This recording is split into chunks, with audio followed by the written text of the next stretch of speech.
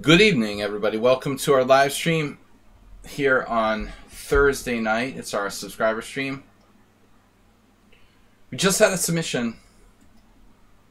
Excel Poker. I'd like to show my first Benko. It's from Excel Poker. First Benko, he calls it Benko opening. Benko Gambit. Alright, open. Thank you, Excel Poker, for submitting that. Goju, welcome. Everybody, we've got our analysis stream tonight. I'm International Master William Paschall, hosting analysis stream with subscribers. Um, Mr. Coffee, thank you for the one man raid. Asterbait, good to see you. Don't forget, guys, to support the stream. Asterbait and, and Mr. Coffee can't do it by themselves. Bjock, welcome. We've got your game in the list. I've got Ripun, Morales, Yabades, Asterbait, Uber Driver, Jim, Excel Poker, and basically, Sumaher, you're in there somewhere in the middle. Um, you should be in there around after Asterbait or so. Around Asterbait or Uber Driver. We've got you on the list, the unofficial list here.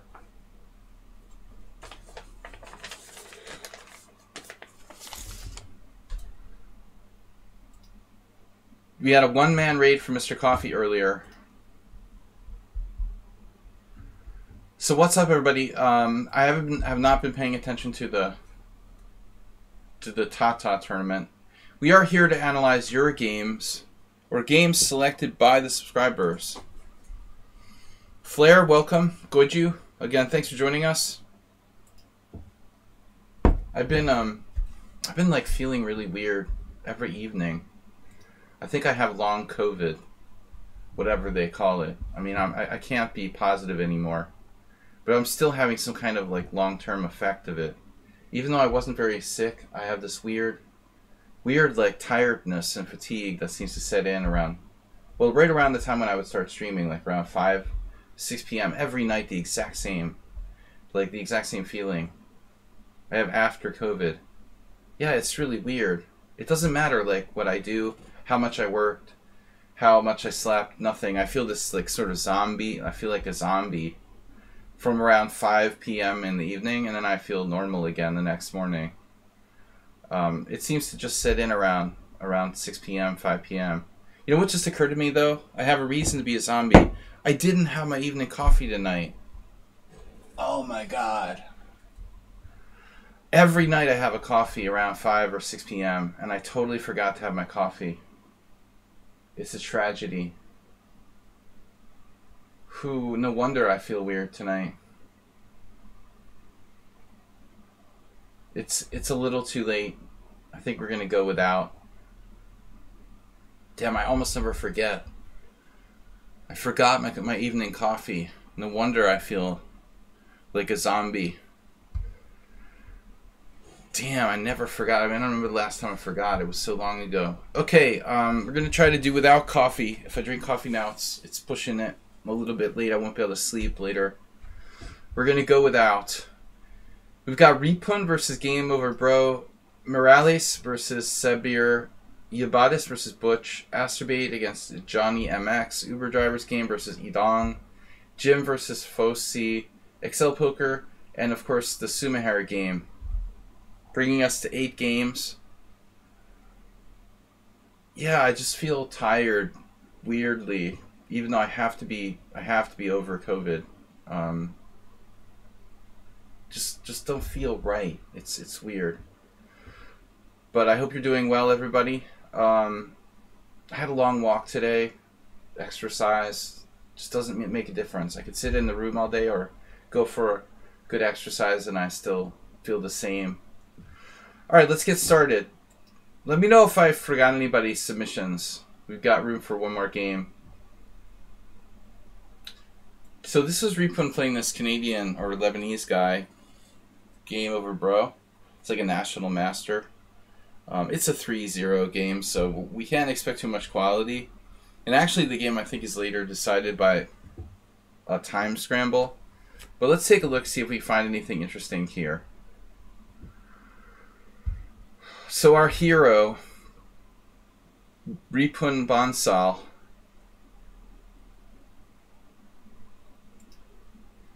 is Astrobate fully grown? Ripun Bansal playing white, e4, c5, knight f3, knight c6, d4, cd4, knight d4, and then of course the accelerated dragon. I think the easiest variation in the Sicilian to learn. Um, I've been playing it.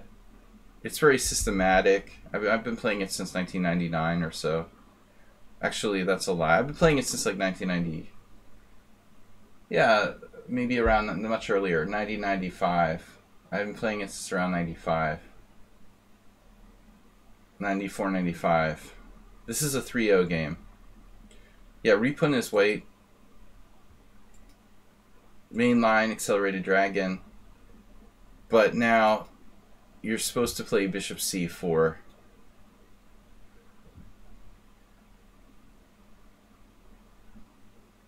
Instead, he makes it an accuracy here, which is very, very common.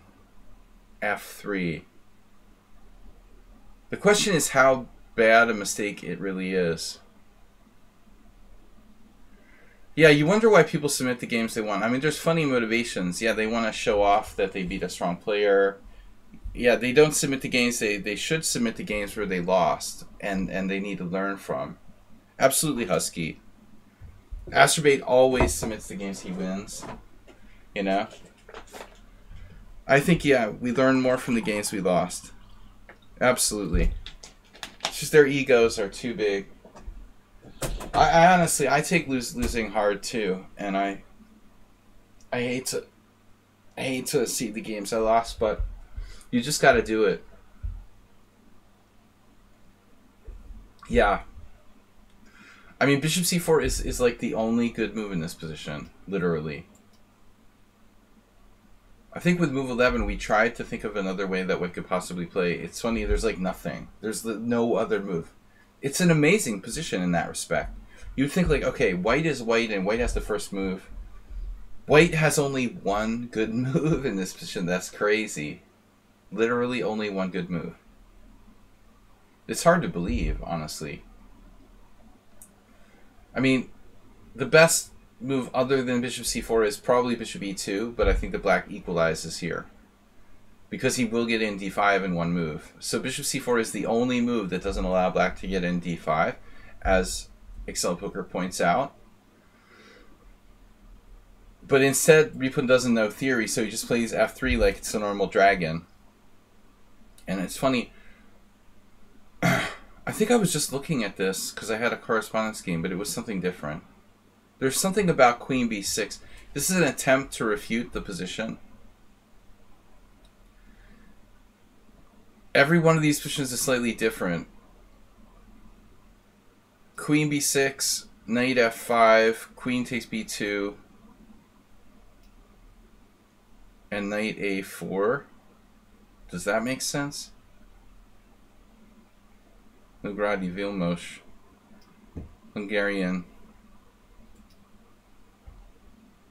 Yeah, black is lost here. But knight a4 is a good move. so, he's an arbiter, actually, now. Alright. So queen b6 is too early, it doesn't work. If d6 transposes to a normal dragon, that's that's considered inaccurate. So black black's supposed to play castles here. He does. And then white plays bishop c4. Yeah, so this this is a common common situation. Wow, it's interesting. It looks like g4 has been played in some games. But um, bishop c4 is clearly the most logical. Now, herein lies the trap with queen b6.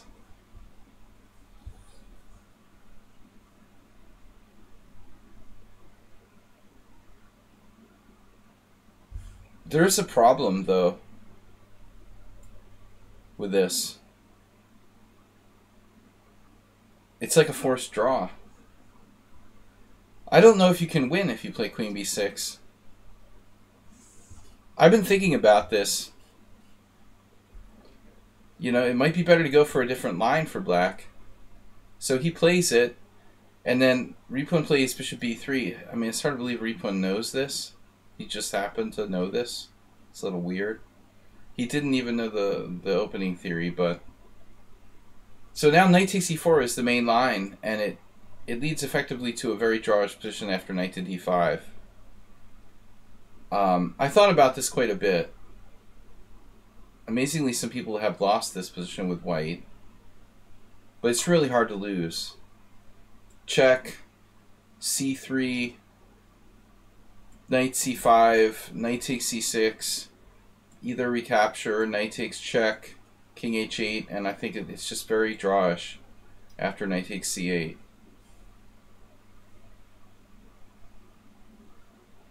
It looks like there's a few isolated examples of, of white losing, but I played with black and it's very frustrating. It's basically a draw. So, game over, Bra decides to play knight g4 instead, but I thought that this was a mistake. This has been played by some other players. I'm not sure this is objectively a good idea.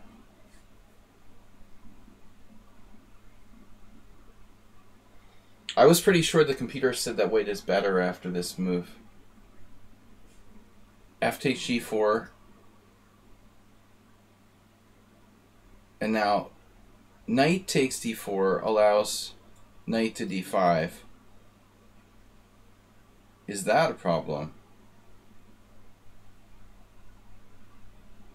Yeah, I mean, I don't know. Queen a5 check. c3. I'm a little confused by this position. Bishop d2, queen d8.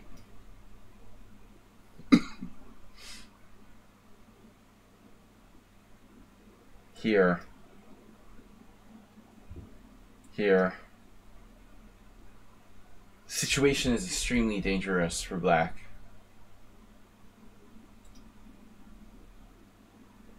Looks like he's just about okay. I don't know if this analysis holds up. Let's see.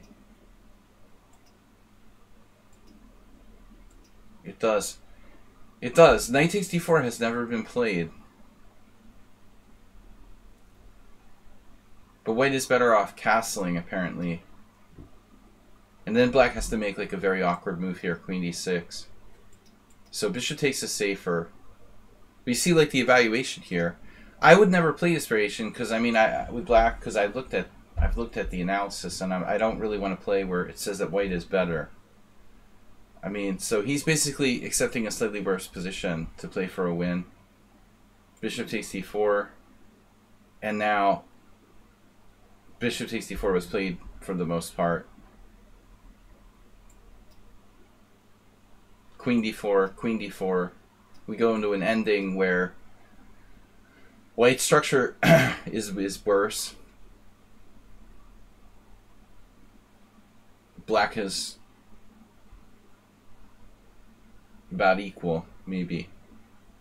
So it's an interesting decision. I think he knows, and he's he's avoiding, you know, the other line because it's drawish. Maybe not.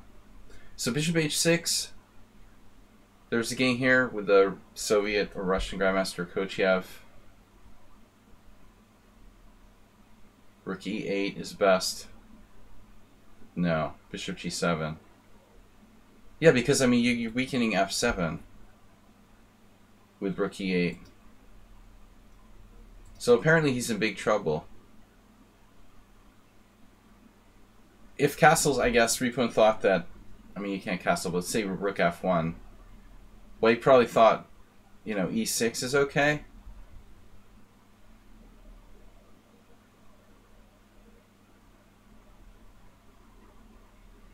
It's not that easy to attack f7.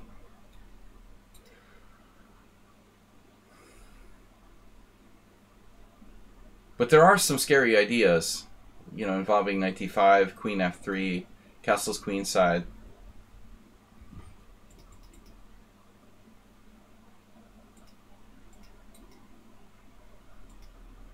Instead, knight d5. So f7 is very weak, but we're not exploiting f7 with the knight on d5 here. That makes some sense, I guess. Queen c5 is okay. c3 and now he refuses to go back. Is it too late? Actually, I mean, bishop e5 deserves consideration.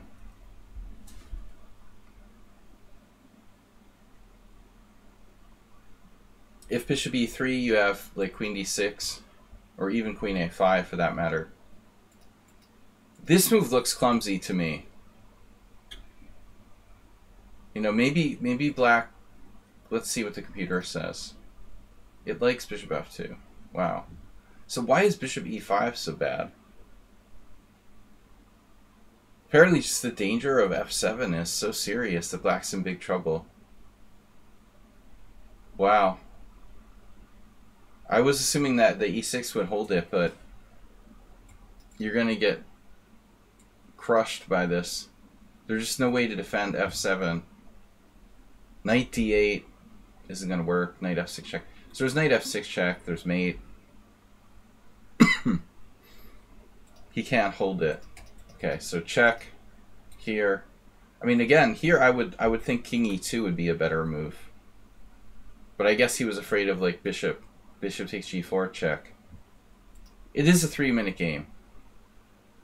Knight a5, we don't want to overanalyze it. Yeah, black's development is really non-existent. I would think queen f3. But he went here. This doesn't look this doesn't look as impressive. Man, I mean Queen f3 is brutal. You're actually threatening knight f6 check there, aren't you? Yeah. It's much better. Yeah, I mean, Black's bishop is ridiculous on h4. So he went here. Kind of a creative idea, though. And White took it. And now they're... Yeah, their king side is a little bit safer almost with that pawn on f6. Now this this was a good idea, though. He's got serious play against the e4 pawn. Princess Chess, welcome. Um, good to see you. How are things? Yeah, I don't know if Ripun should have even played this in retrospect. You know, should White should White have even gone for?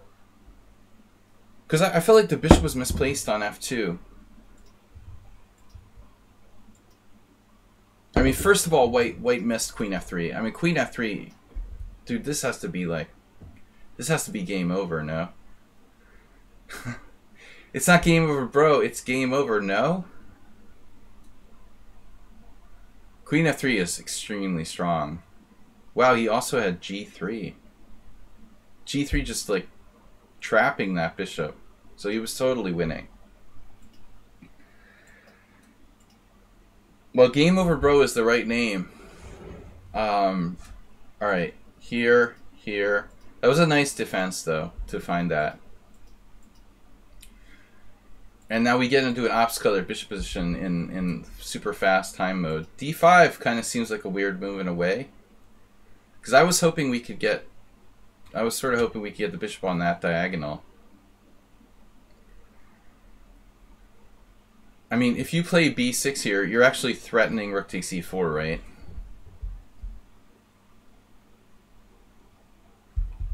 But white might have a faster I mean, White has very quick quick threats of you know taking on f6 and mating. Um, Princess Chess doesn't say hi to me. Just just Astrobate and Mr. Coffee. But I, th I think it's implied. All right, d5, queen f3. Yep, takes. Both kings are wide open here. Now it's just a bullet game, but I kind of like think White's king is less safe than Black's king. Of course, White is that material, and now this pawn this pawn duo looks very strong. Coming down the board. It's just a bullet game now, so the quality is very low. I mean, white doesn't guard his pawn on d5. He's got to be winning, I mean, after c4. Ripun sort of starts to play too fast when his opponent's in time pressure. That's a huge blunder. And now he missed bishop h3 check, queen f3 check, and we go into an ending. And the bra is... Bra is holding. Yeah, objectively, I think white has better here. Um, this is very interesting, rook e5. But I don't want to overanalyze it again. It's just a bullet game. So he, he got the he got the initiative back, gave it back. White's like playing for a draw now. You know, he was better and he starts to screw it up. And this is a dead draw. I mean, I'm just gonna stop here. There is one way. There is one way that actually White could lose if the Black King were able to get in here. over there, but that I don't know actually. I mean, can we stop this from happening? Black has this invasion down here, and he also has a majority on the other side. So it's a little bit tricky for white. He doesn't seem to make up his mind here. He fixes the pawns. And that that actually is a crazy move. H5 is insane. Move 11. They cost double. Yeah. Yeah, but in bullet he's 2200. Well, you can explain to me how how the fact is the guy's 2200 in bullet and 1800 in blitz because he plays super fast. He's only he only plays fast. Um. Yeah, he's done this to me a lot.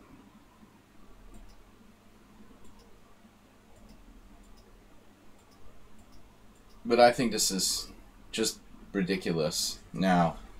White's just like trying to like make him lose on time. It's not an increment, and he's just like lost now. And black just like blundered. A3 doesn't work. I, I guess it's a tough one. Which way should we take? It's funny, like this could be a draw.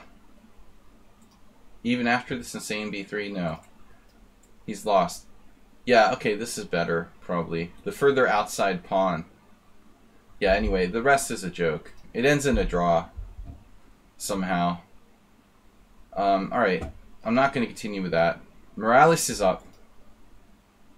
I really don't prefer people to submit, like, bullet and three-minute games.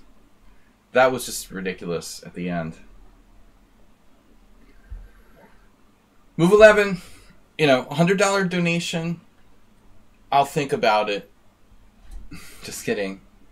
Move 11 is is a founder of the stream. VIP and founder. 55 month subscriber. For you, we will put your game in. But that'll absolutely be the last one. I have long COVID feeling good. I've got a glass of wine.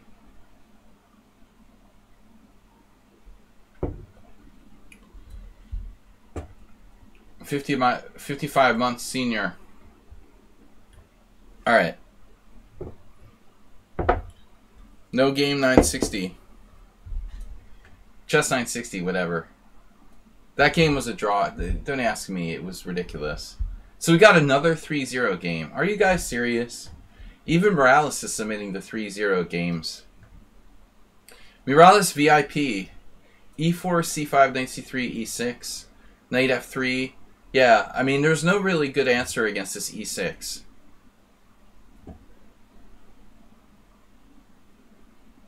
Against A6, Morales has played some G3 type of stuff against me. But against E6, you can play G3. But I, I like Morales's I like Morales's um, Morales's I should say Morales's, Morales's, his repertoire where he, he transfers back to um, the open Sicilian in certain variations here. Another interesting move is knight e2. You can do like a hybrid. We usually have good games in the weekly rapid tournaments. So it would be cool to see some of those once in a while. Yeah, I mean, that's much better than a 3-0. You know, even 5 plus 3 is much better than the 3-0 game. But I think that Ripun was excited because he, he drew with a, a national master. Understandable. Um, the result is more important than the quality of the game. Uh, no, seriously, knight f3, and then a6. And then we, we transpose to open Sicilian, but no, g3. The only thing is that Morales' knight is on f3, so it's it's kind of in a bad position for a closed Sicilian, theoretically. So what should black what should black do now? You know, I was just thinking, how how bad is it to do like d5 anyway? I mean, his plan was to play e6 and d5. Not a lot of games here, but d5? Is this stupid? Is this really bad? How does white respond to that? like take, take, and d4? I mean, you could do a lot of things. You could play, you could play it like a King's Indian.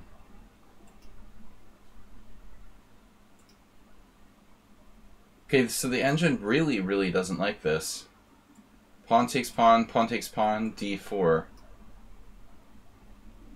It hates white's, I mean, it hates black's position. Plus 0.9? Ouch.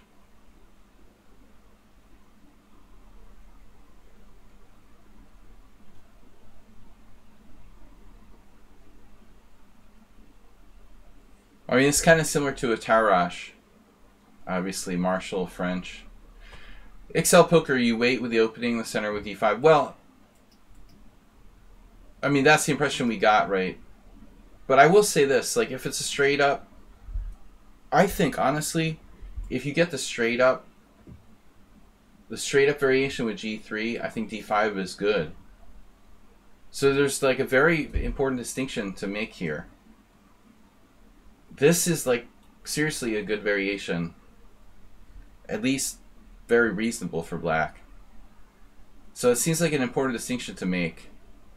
It's important that this was included, this was included, and then this was included, and now d5 is not so great. In the open position, I guess the knight on f3 ends up playing a rather, you know, valuable role.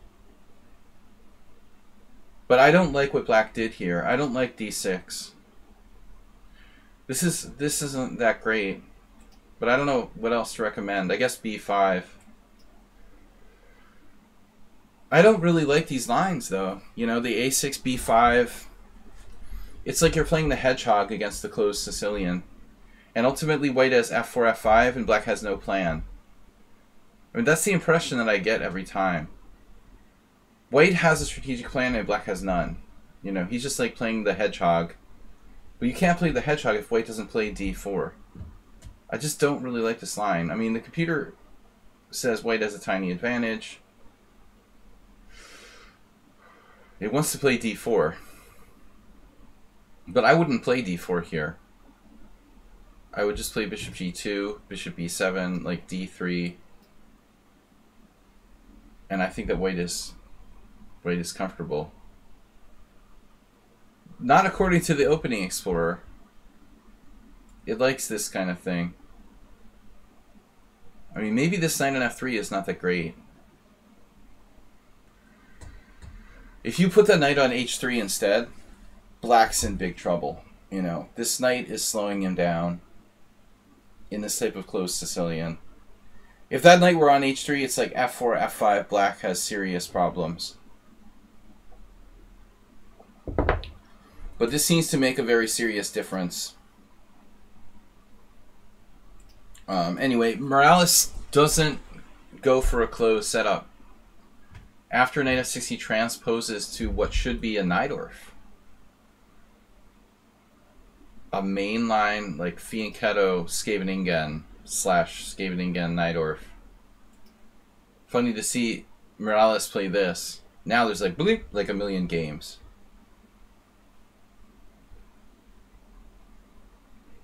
E6 based um, setup against G3 in the Najdorf. Very tricky for black to play these lines. Yeah, I mean, maybe knight f3 is an inaccuracy.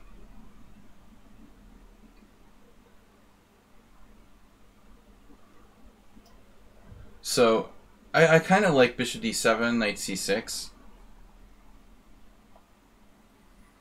You always have to guard against threats like that, but it's not it's not on here. I like to play this encounter that bishop on g2 with black. Instead, black plays bishop e7, castle, and now queen c7, which is apparently apparently a variation.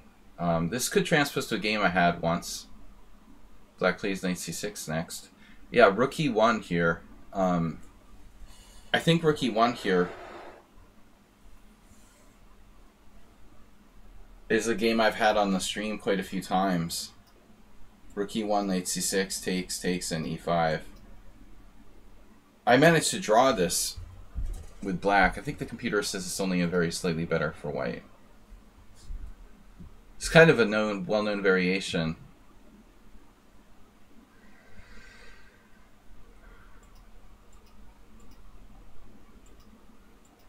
Don't don't mention the dentist or drive. I haven't been to the dentist in a while since I lost my home, my former home. I've never been to a Hungarian dentist. I discriminate. I'm afraid to go to a Hungarian dentist. Alright, queen c7. And, and Morales did play rook e1. And now black, I think the safer move, it seems to me I saw de Firmian play this.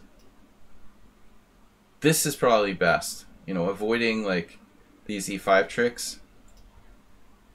But you also have to watch out for stuff like knight to d5. I mean, it's probably not working here, but I'm just saying.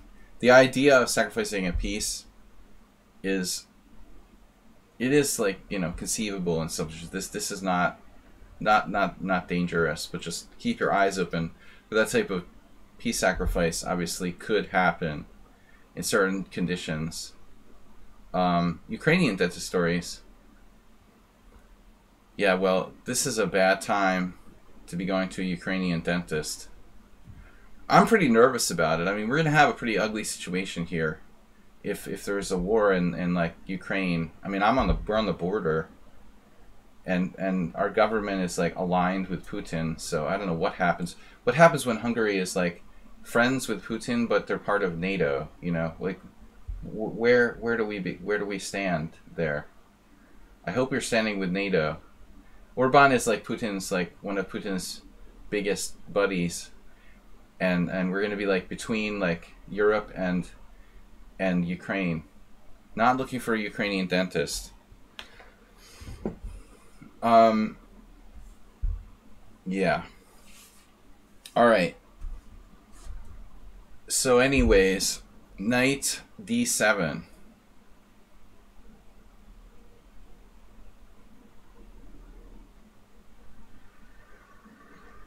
Knight d7. Keep in mind, this is a fast game. It's funny, the first thing I think of is f4. But it seems weird, yeah. It's like weird to play that since we just put our rook on e1. So I guess no, I guess you have to go to some kind of g4, g5 strategy. Someone actually played queen d2 here. a4 is, is easy, easy. Here, okay. And now black played rook b8. Now a5. a5 is possible. g4 is possible.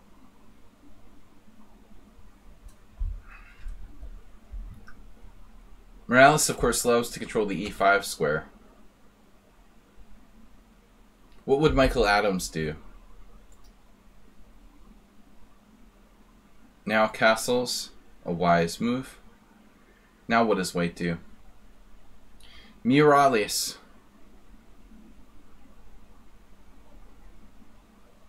I'd like to see Morales play a match against Dr. Tripchance in the Najdorf. Alright, what are we going to do? So he plays bishop e3. So there's what happened to our pawn storm? Morales doesn't seem like he's big on the pawn storm, but I think this this is probably the moment of truth. He, he may have been waiting, but I mean, g4 deserves serious consideration.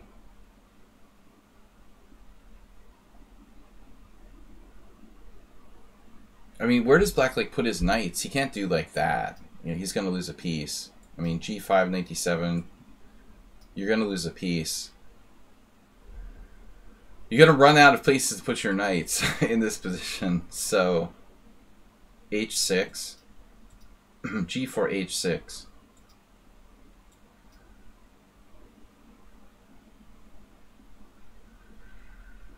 Oh, is that a Boris Spassky joke? Move 11, thanks for submitting the game.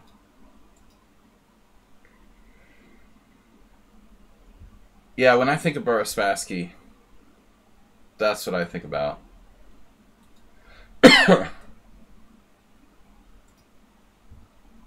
Thanks for that image. Excel Poker. Alright. Oh no, move 11, you're to make it like unaccessible study, right? No, we can grab it.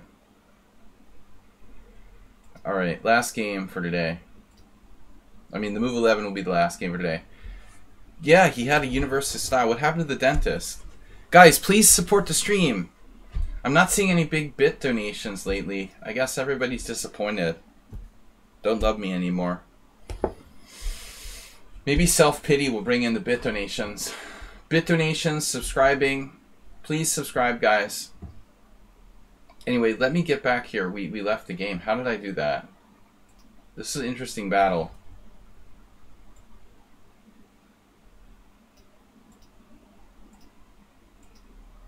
Anyway, so my point was I think G4 is a very important concept. Here's the moment to go for.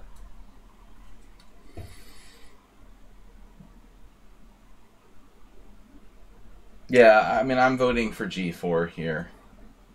His only, like, sharp response would be D5, but that doesn't even come close to working.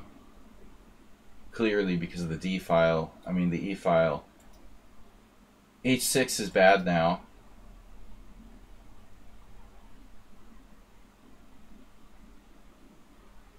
This looks real, real scary for black.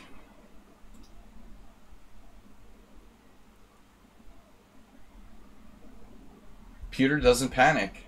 Wow. The pewter doesn't panic. I mean, to be honest, the only thing about white's position that doesn't really gel is that rook on e1.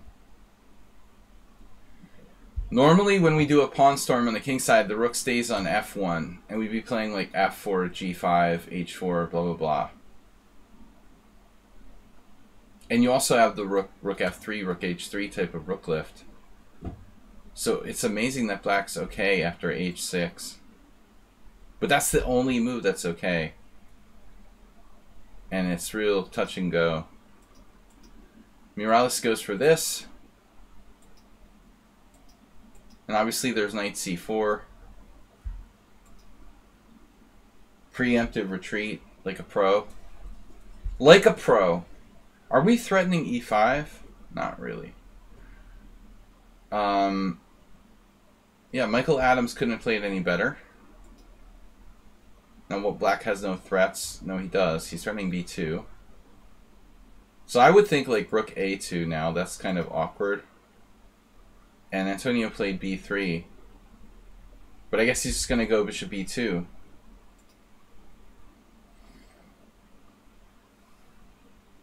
Yeah, I mean, this diagonal's not bad. He plays that, though, trading pieces. I'm not a big fan of trading pieces here with white.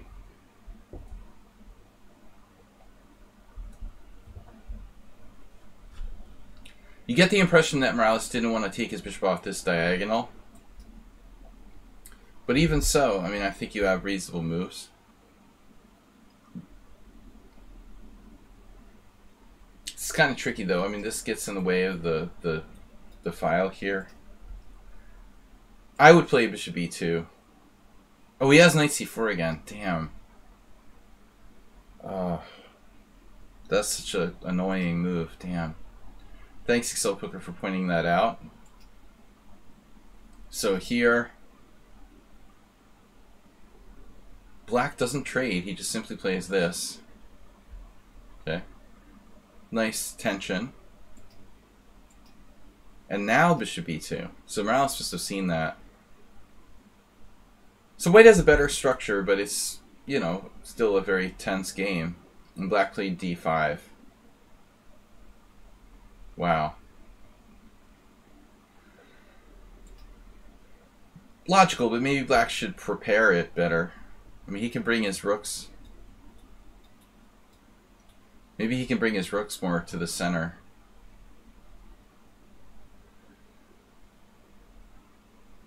I just can't believe that black is that bad off here that he loses in a few moves. Um, it just looks like white is only slightly better. This shouldn't be over in like five moves.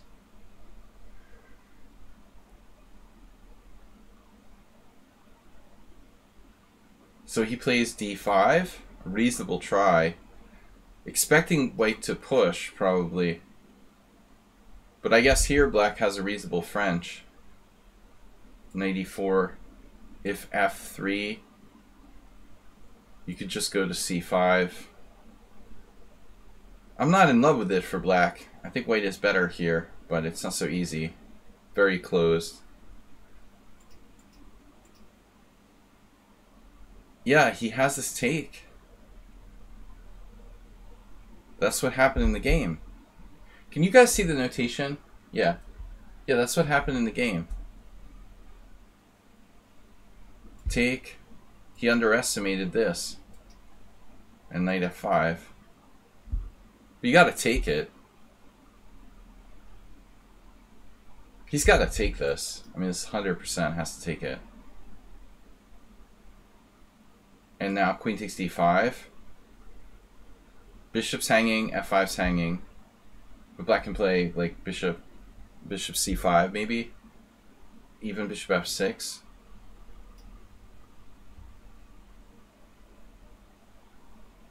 Black is is alive. It's alive. He's alive. This was the game, right? Take, take, bishop f6, yeah. This is this is not a good move.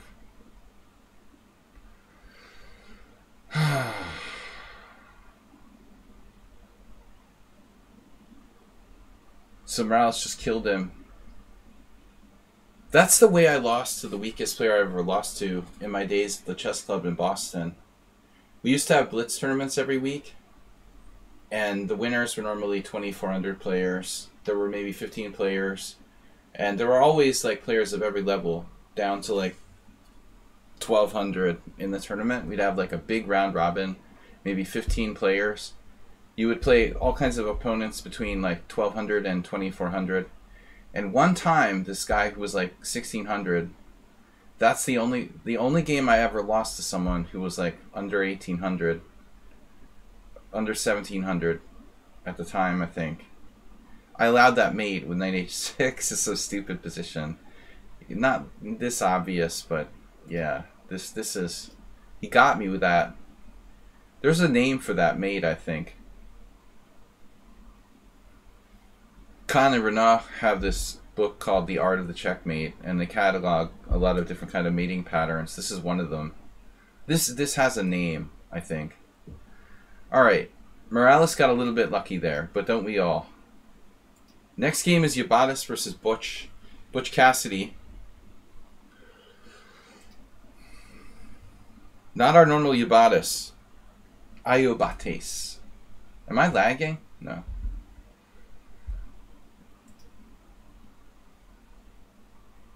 Boden is the Boden's Gambit? Maybe. Maybe. I don't remember.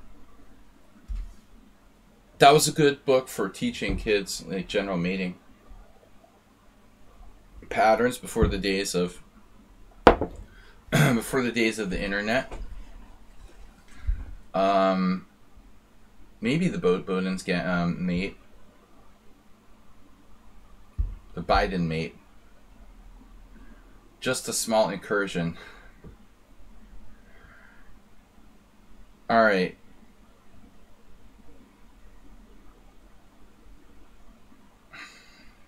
It was it's an easy era to be president of the United States, dude.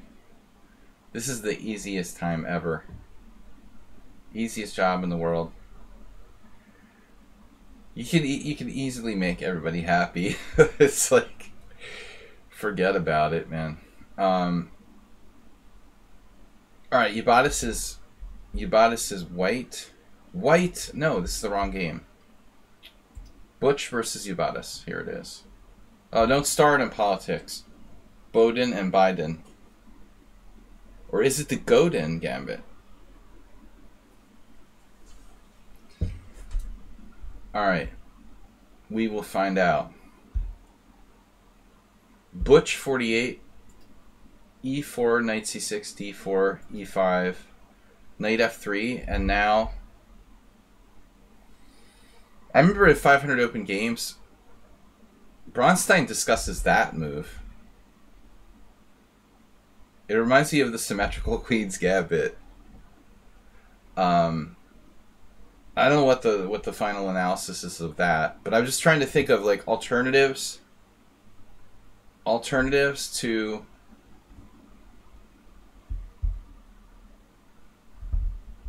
You know what I would say is like the forced move here. Do we have white as a girly man? What does that mean? White played the Scotch. It's kind of macho, I think.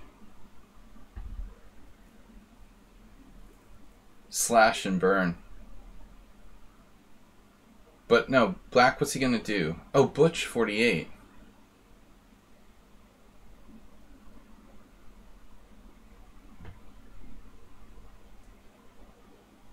D6. Yeah, D6 is horrible. Ubatis likes it. I don't recommend this.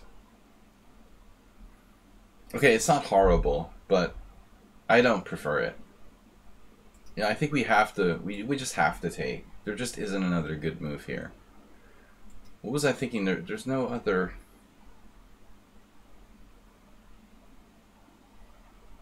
There's just no other good possibility. I, I saw some funny games where people did this. This is not really good. Yep.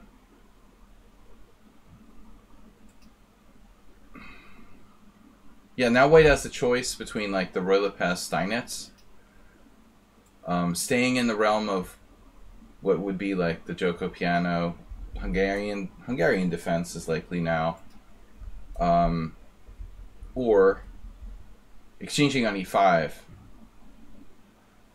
I, yeah, I don't really like this move. You know, I, I don't know. I think this is worse than d6 maybe. Which is worse? Playing d6 or exchanging on e5? Yeah. I think the statistics speak for themselves. White's winning percentage drops from like 48 to 35.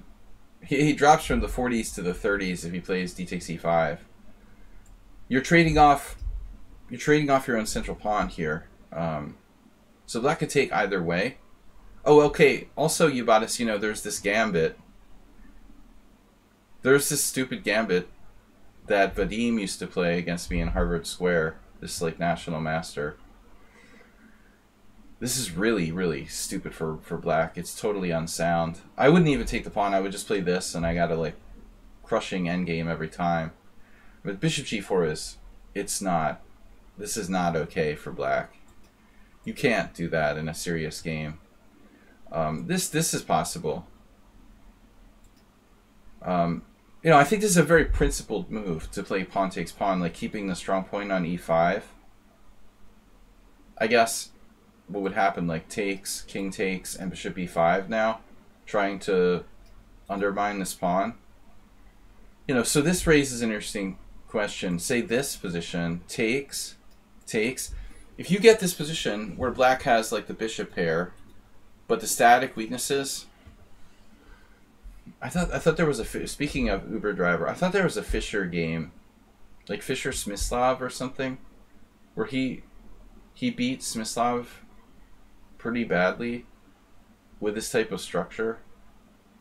I might be misremembering it though. Hmm. You prefer the bishops? Well, I mean, maybe if it was more dynamic and like there were queens on the board. But I don't know. It's kind of not a lot of not a lot of dynamism. I mean, we've traded one set of minor pieces on a queen already. I would prefer white. But um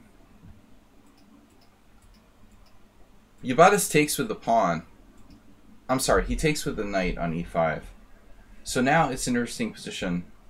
White doesn't have the obligation to trade there on e5.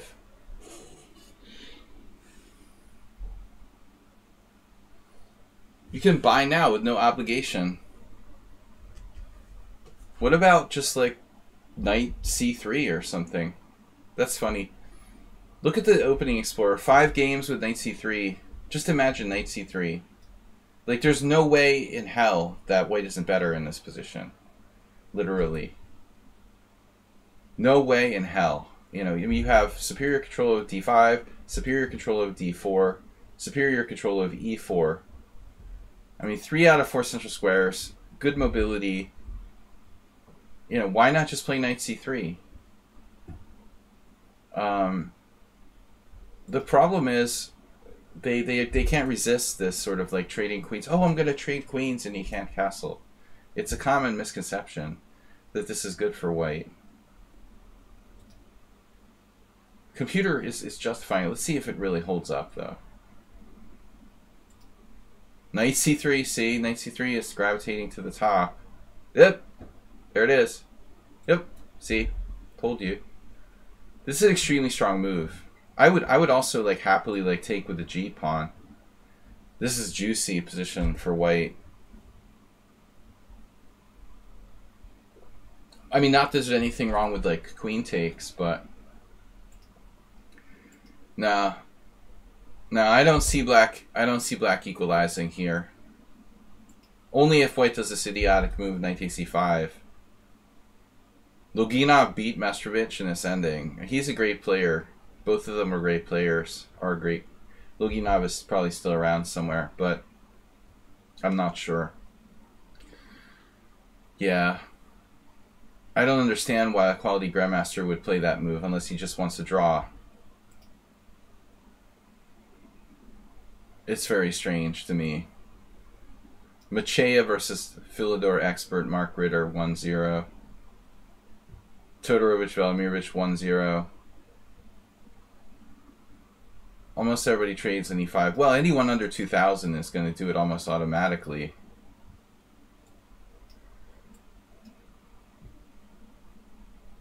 And this is a really interesting position that Yabatis and I have talked about before. He gets to show off a cool idea now.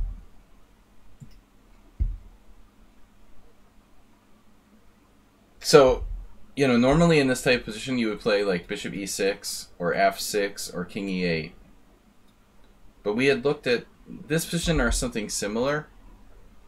And there's kind of a neat trick which we found using an engine. Um, instead of, I mean, this is playable and, and a safe move, I guess.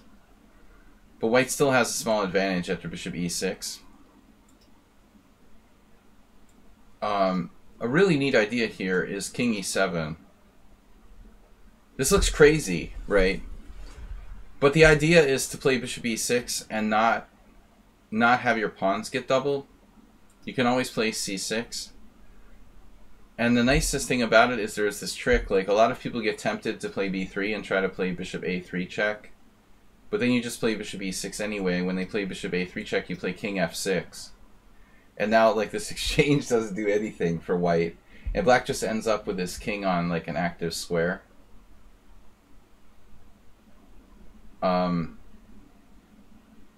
it's actually better for black probably if they fall for that So this guy, he was pretty smart. He didn't play b3.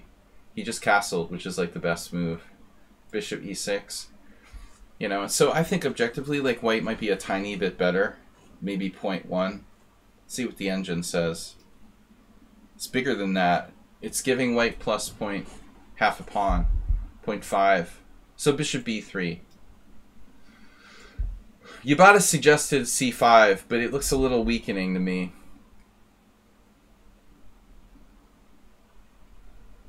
I suggested knight c3. He suggested a6, and we left it at that. Um, but the computer is not buying this. It thinks that white is significantly better. But you don't have to play c5. I think black can play this in a safer way. I'm not sure after plus two. He's like, I'm not sure about c5, maybe. Um, well, your first instinct was to take, you know, but I think that white is slightly better here. But it's not enough to win. I mean, if you defend, if you defend correctly, it should be a draw, probably. Um, between two reasonable players. Instead, he plays this though. He puts his bishop on a bad square to try to take advantage of the fact that black king is is in the center. You know, which is interesting idea.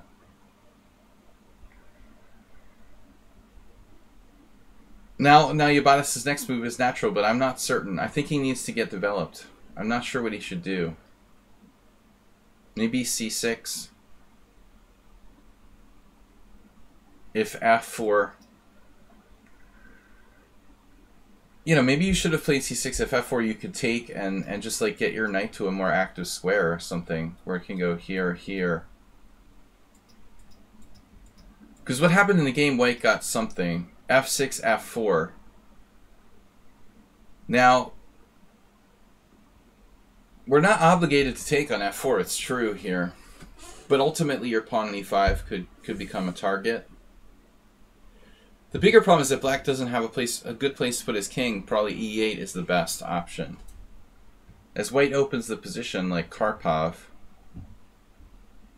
Karpov Seirawan, very famous game where, where Karpov beats Seirawan um, an ending type position, opening it up. But I think it was like a king on c7 with c6.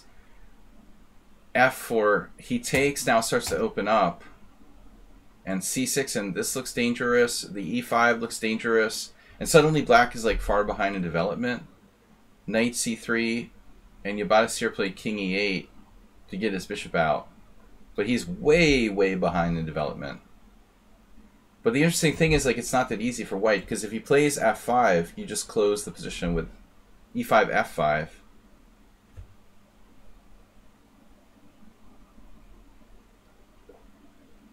And then the, the e5 pawn becomes a weakness. In the long run, it can become targeted. And white has, like, no way to take advantage of his development lead. Chicken. Eat some chicken. So bishop e3, stopping bishop c5 check, but black now has bishop d6. So slowly, white has no way to open the game. This was a nice move though. Knight e2 with maneuver. Now here, knight g6 is a reasonable move. Here doesn't I don't get this really. He doesn't have anything there knight e5, threatening knight g4, and not so much trying to get this bishop, you know, it's it's like fixing his pawn structure. White should play h3. Instead he plays knight f4. Black could have taken on a2, but that's naturally that's naturally kind of scary to take that pawn. We figured out that the bigger threat is knight g4. You're just getting the bishop out of take and now you're threatening knight g4. And white never has time to trap that bishop, it turns out. But naturally, I would have played bishop f7 to dominate the knight. But Yabata said he didn't think about that. So he went here. And now this stopping knight g4, or discouraging it. Now Yubata, I think, went off the rails. I think black is, is fine and is very solid here.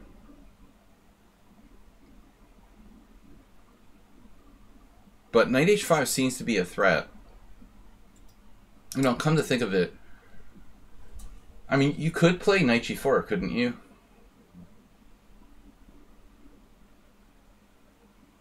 I mean, still, it's a bishop, and the position started to open up a little bit. Like, knight g4, bishop g4, bishop g4.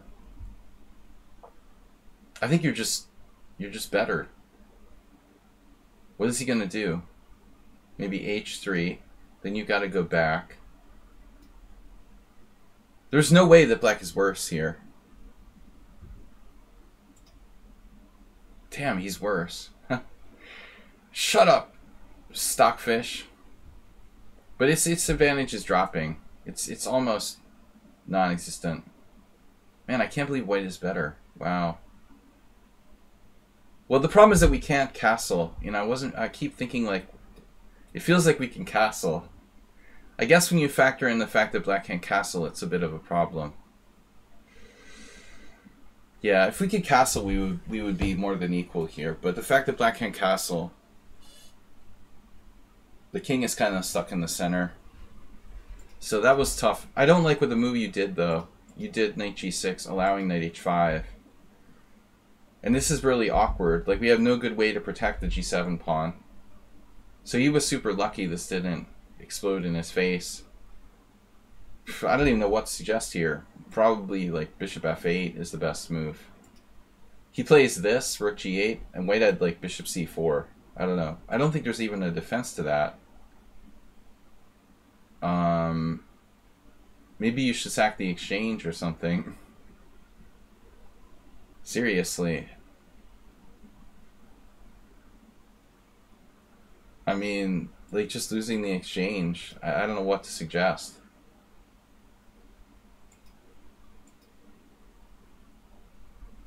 So that was fortunate.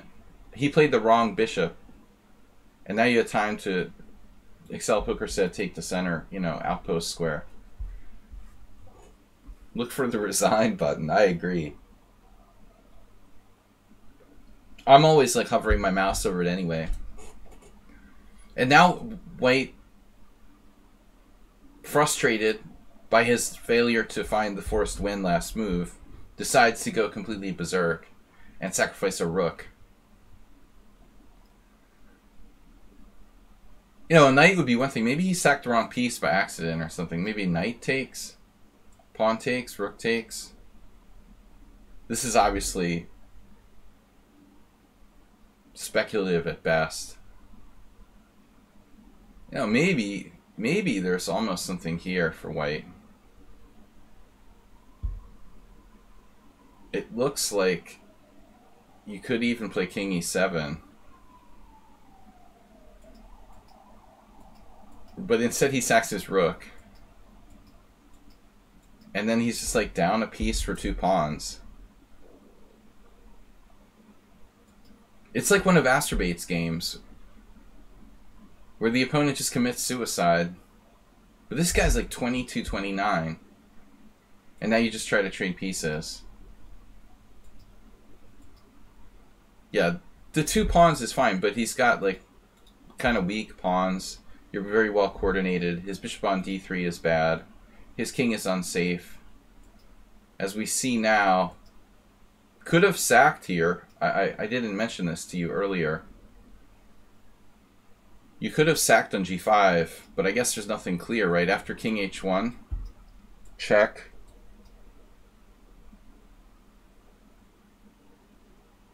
Yeah, I mean, you probably looked at it and rejected it. There's not enough there. So check here, rook e1, and now you're you're all over his king. This was nice, so now he gets forked. And this was really fancy, but good. And then there. And then three pieces for one piece. Yeah, that's... That's cooperation. Alright, Sumahara, we need to get to Sumahara's game.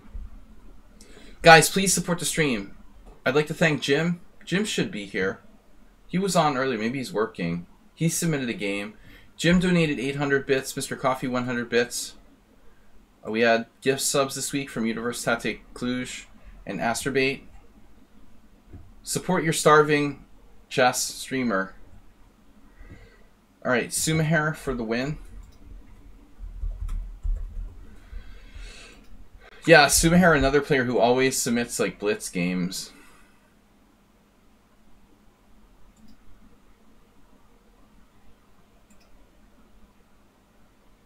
Wait. Yeah, here it is.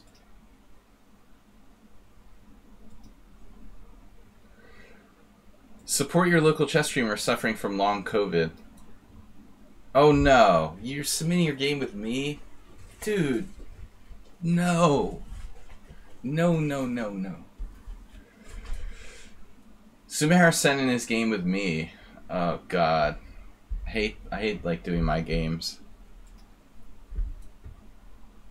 Yeah, actually, um, Husky was the one who said, "Why don't we, you know, analyze more games from like the, the Tuesday tournament?" And here we go. So this is from our Tuesday Rapid tournament. I played the Ilinčić variation. We've had like 20 games in the classical Nimzo. And um, I, I told the story during the tournament. The Zlatko played this against me. Zlatko's like just a random random Serbian grandmaster who played a lot here in Hungary, but he's one of the only people who's like never lost to me that I've played a lot of games against. He has an interesting style. And he's probably the player who's played me the most games without losing in the world. Um, this is against Sumahair. So Sumahair is 1836. He's kind of stronger than that, though. Anyway, so I, I told the story how I, I played Ilinčić two years ago with White in a team tournament in Kecskemét, and I prepared this variation. It was like literally the first classical Nimzo I've played in like 10 years or something. Because I don't keep up on the theory. And I saw he plays this, and I was like, oh man, I, I gotta play this with White. I mean, this just can't be right for Black. It's not clear what White's best move is here against d6. But against d6, knight f3, I mean, Ilinčić like plays h6. I don't know where he came up with this. It's just like a move that it prevents bishop g5, but it's it's really really random. So, obviously, like more normal moves here for black are are possible. I mean, castles, c5, knight d7, probably knight c6 just transposes to a Swedish variation. Yeah, I mean, basically, when, when I saw this Ilinčić plays this move, I was like, okay, I'm not going to offer a draw, even though he's my friend, even though he's a grandmaster. This is ridiculous. I'm going to try to beat him with white. And what did I do? I like went in there. I had only played one game in, in six months or, or close to a year, and I lost with white in like 25 moves. It was horrifying. Yeah, I just like got annihilated. I tried to play like a maniac, and, and I didn't castle um, I put my bishop on f4 like I was playing the London system. It was, it was so bad. Um, how did my bishop go to f4? I still don't even understand. I just don't understand. Man, I'm like spacing out. I didn't play this now, did I? I couldn't have played that move. Unfortunately, my game is not in the database, but I'm trying to recall what I played.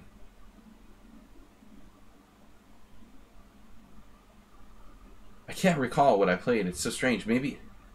What could I have played? It's funny that Atzel played h3. Okay, obviously the refutation of h6 is h3.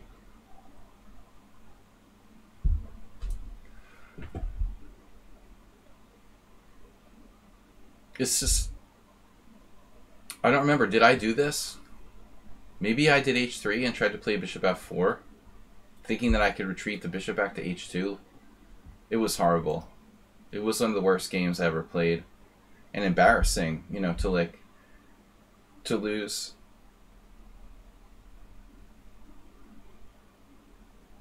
On a, on a team, in a team game. I think I was bored too, but still. Um, so anyway, I'm playing black for the first time in this position. I've never played this. And now e3. But e3 isn't really dangerous. we're just transposing to a kind of classical Nimzo or Rubinstein Nimzo. So Otsail has a game here too. Um, you know, H6 is like a wasted tempo.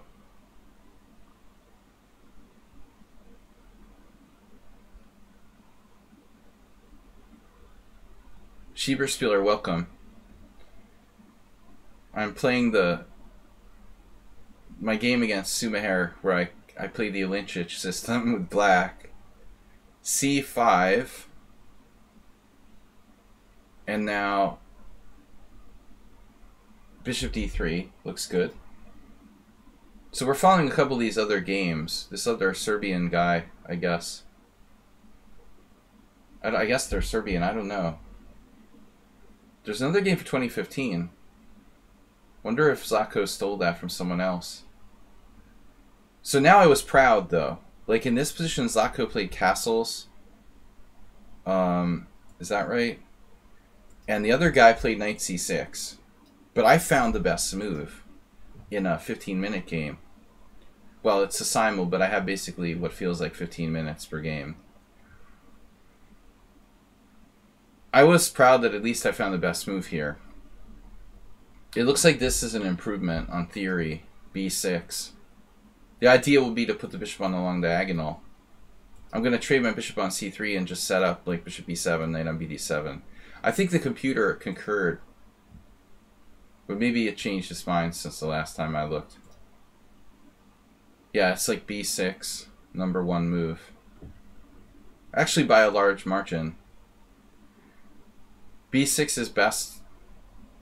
Well, only by a one one centi one tenth of a centipawn, two tenths of a centipawn.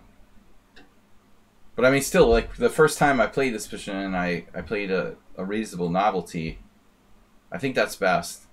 Castles now I take. He takes. And then bishop b7. And obviously, like, the important thing is that we keep control of e4.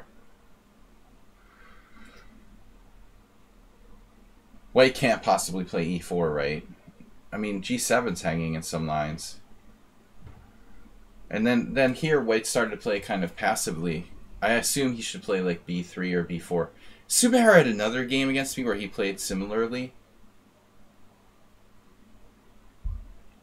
But okay, he was concerned about bishop takes b7. That's like chopping off my right arm. But it's done. You know, I mean, this is a thing. Like, I might play bishop takes f3 if the situation feels right. But I wasn't really planning on it. He obviously is afraid of that because he played knight e1. But I don't know. You know, I mean, is this really do I really want to give up my like bishop just for that knight on f3? That wasn't the plan, honestly. I feel like white should just play b3 and play it like a bogo, you know, putting his bishop on the long diagonal.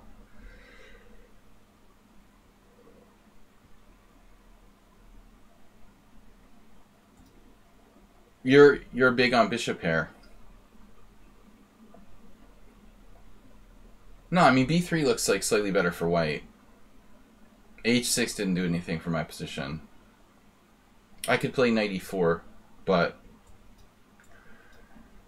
you see, here's where we start to have some problems. Because I'm not castled. So I really have to castle. And then he gets that long diagonal stuff. And it's hard to answer that. but again, like a typical situation in the in the Bogo, this is passive by white, 91. Now I was happy, and I played it like a kind of typical classical Nimzo, where I started to set up pressure on the c4. And I'm happy. I mean, I shut down his bishop on, on b2. I've got pressure against c4. His knight is on a weird square on e1.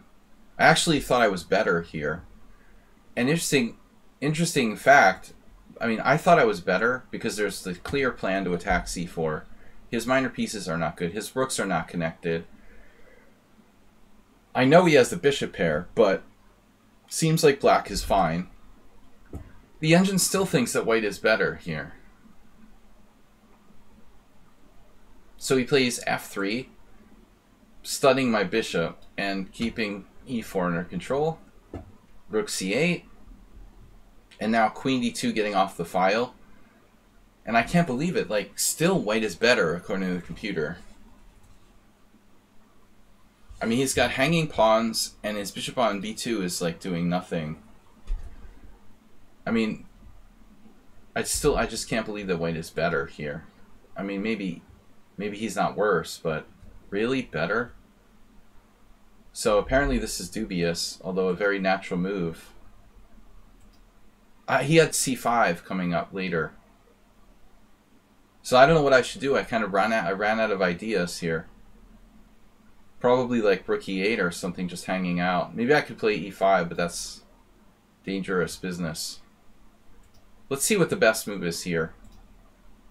Yeah, rook e8 is up there. Taking right away. Okay. Rook e8 just a waiting move. But this is concrete.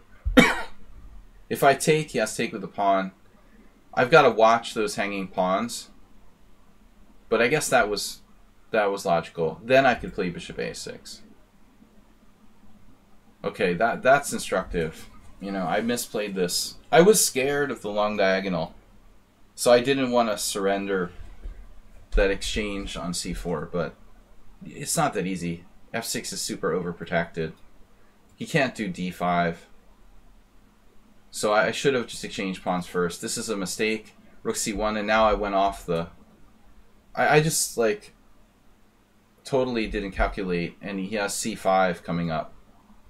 This is a bad move, stopping bishop a3, because he has c5. When I take, he just like takes with a knight, and now he's protecting c5, and white's got this crushing pass pawn. It was just a failure to calculate. Again, I should just like take on c4, obviously, and I'm fine. Playing against the hanging pawns. So he blunders now with c takes d5, trade, take, and now knight takes, and I'm actually better. And here, I don't know. I was in bad situation on the clock. My idea was that if he plays, I would induce f4 and I would put my queen on f5 and start to play for the light squares. Even like h5 maybe. Knight f6. I don't know. But he traded, and I, I knew after that that he was content with a draw. Unfortunately, he just like vacuums the board, and I'm not. I'm not really much better. Yeah, I mean, it's just it's not enough to win. It's just a draw. And the funny thing was, at some point, I started to try to set up like a light square bind. I think at this point here, I offered a draw. It was right around here where I actually offered a draw. The computer says I'm better, and I was just setting up a fortress. And he declined my draw. Wait, coming up here. Bishop d2, a6, h3, takes, takes. And I was like, okay, it's a fortress. I offer a draw. And I'm I have like no losing chances in this position. I mean, there's no way that his king is getting in, and he had way more time, so he declined the draw. I was kind of irritated. But after this, I actually missed. It looks like I might even be better here. So I have king g6 with the idea of king h5. I actually am better after he declined the draw. But I was content with a draw with like very little time left in the simul. So that was an interesting game. Well played by both sides. Um, 20 CPL for Soumajer, 18 for me. That's quite good for for a simul game. Oh no, I just closed the window. Oh no, our window. Schieberspieler, how's it going?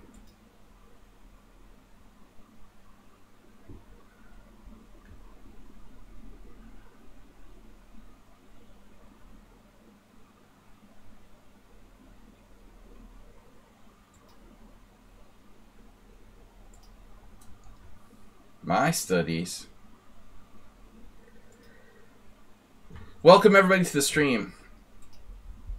International Master William Paschall going over subscriber games. Please support my efforts here, guys. Somebody needs to subscribe. We've got a whole bunch of games left. Astrobate, Uber Driver, Jim, Excel Poker, and Move 11. Let's go.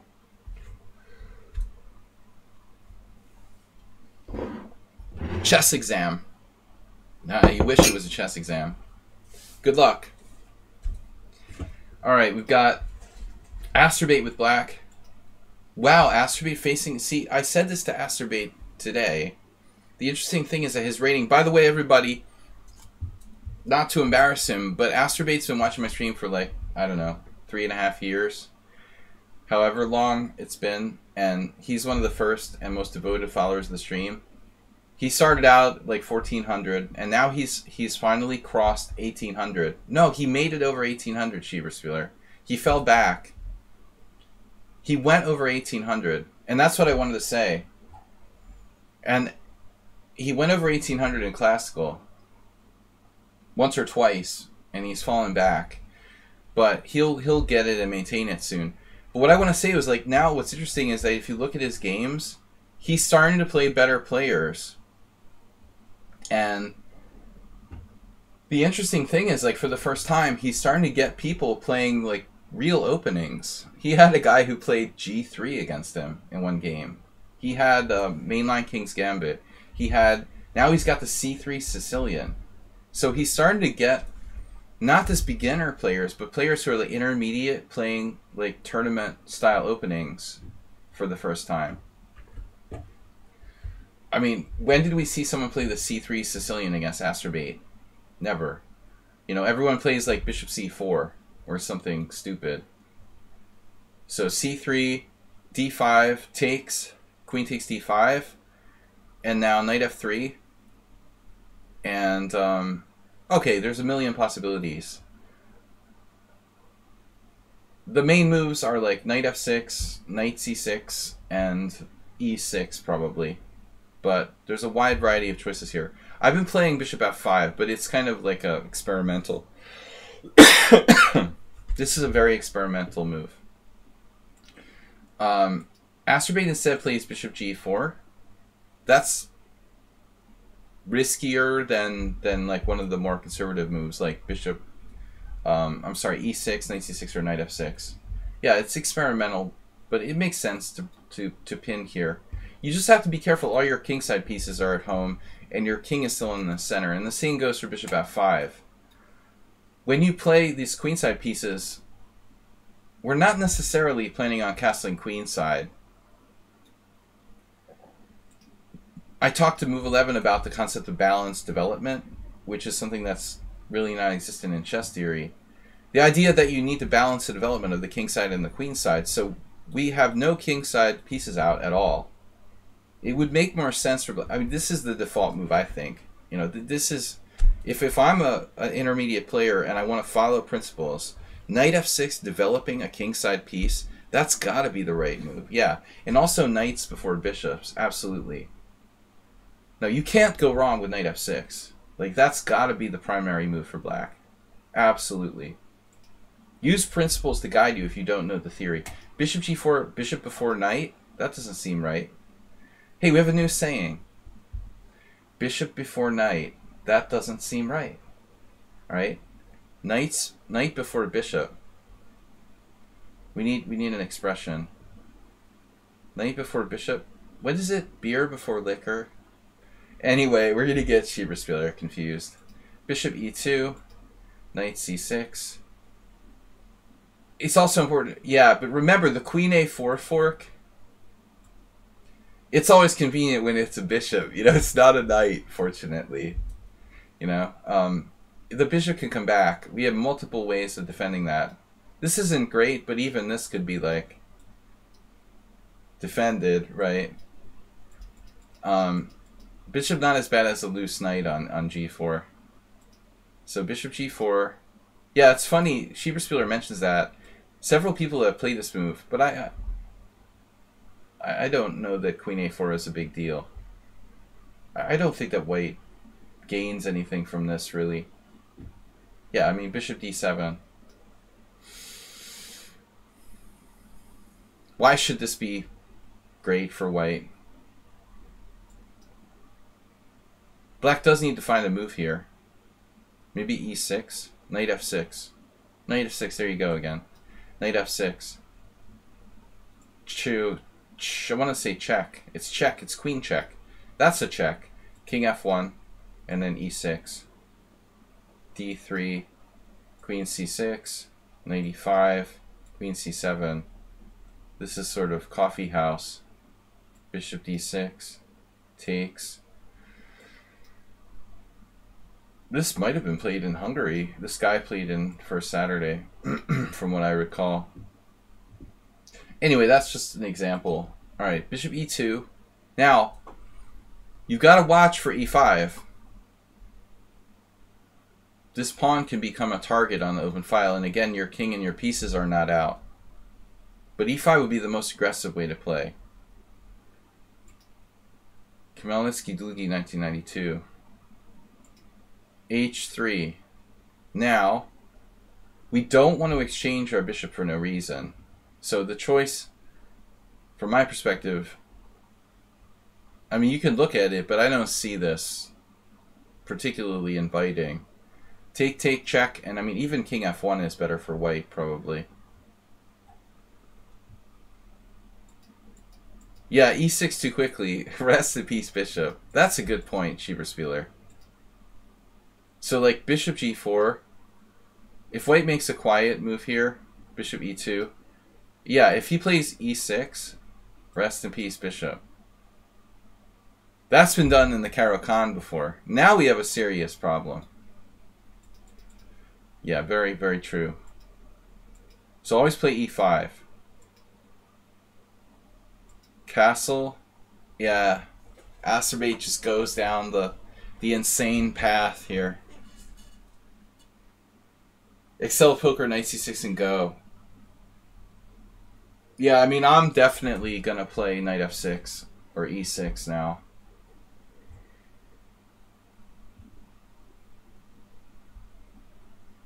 The interesting thing about e6 is that you might have some cases where the knight goes to e7.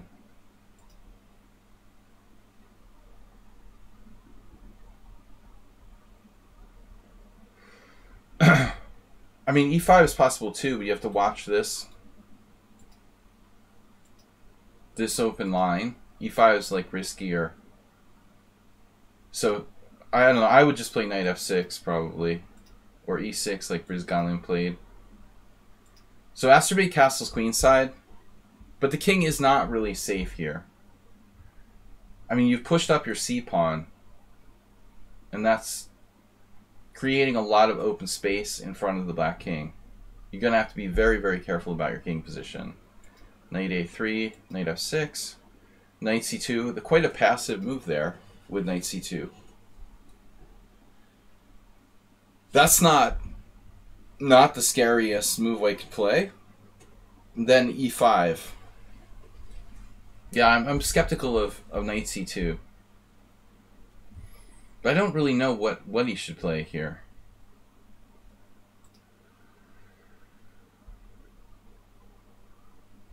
Open it up when in doubt. d4. Wow. b4. d4, cd4. Wow, knight takes d4. Bishop takes e2. Queen e2. It's like a Scandinavian. Knight takes d4, c takes d4. How's your king doing? It's kind of drafty around here. See, this is the problem. You know, if you thought you're winning a pawn, this is the danger with castling queenside in the in the c3 Sicilian. Yeah. You got to be very, very careful not to let it open up. So that's why you probably shouldn't castle queenside. But this is good. You're discouraging d4. Does he have 95? 95. Bishop e2. knight d7, bishop d1, knight f6, knight f8, I don't know. I would consider even this, this, this, and like here type of position where you'd be down a pawn, but Wei would be totally like tied up. He'd have no way of getting his pieces out because of the bind on the d3 square. You might be able to sacrifice a pawn in such a way. Play like Shaq and play g5. Yeah, just find a place to play g5. I think that's, yeah, that's good advice. Uh-oh, bishop b5. How does that work? So Asterby, what's up with, with e4 here?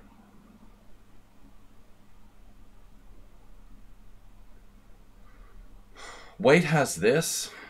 We take his queen. He takes our queen. Wow. But still black is okay. I mean, knight takes. Like, bishop takes, pawn takes, rook takes, knight e5. Again, you have very, very good like control of the, the weakness in the center. Um, so you could have played e4 and you didn't do it. You did bishop d6. And again, he has e4 and doesn't pull the trigger on that. I mean, I need a really good reason not to play that move. Can you give me a good reason not to play this move? I think this is White is big trouble. So we have this again, 95. Yeah, that's the question. It looks like it fails, though. I mean, for example, take... you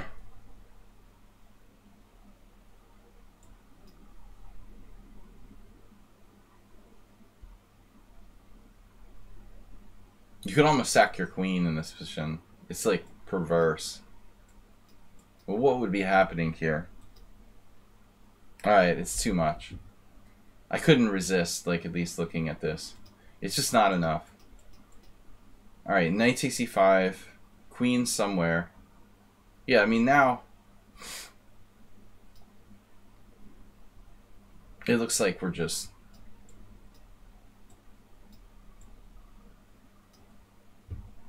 Really huge advantage. White king is not safe. Plus 8. Asked me too hesitant to play e4 there. Interesting, a pawn move. Knight d6, rook d6, bishop e2. White's like, oh, I didn't allow e4. and now he does turn into Mamedyarov. With the nice job with the g5. White plays g4. Takes, takes, takes, check. And white king is not safe. Wow. Rook h6 is nasty. Damn, dude. Yeah, he's not materialistic. Now, knight h2. Unfortunately, just drops e2, right? Well, you have even better. After knight h2, you don't go here and just win a piece. You play queen h3. Threatening bishop f3 check. That's just brutal. So he plays this check here. Bishop f3 check. Bishop f3 and queen h2 mate. Ah. Yeah, that was epic. That's probably my favorite game for today. Honestly, you know, only marred by the fact that he could have simply played e4 with the winning position. He did it his way. All right. This is next game Uber driver. Oh, Uber driver. Uber driver playing black. Uber driver, thanks for submitting.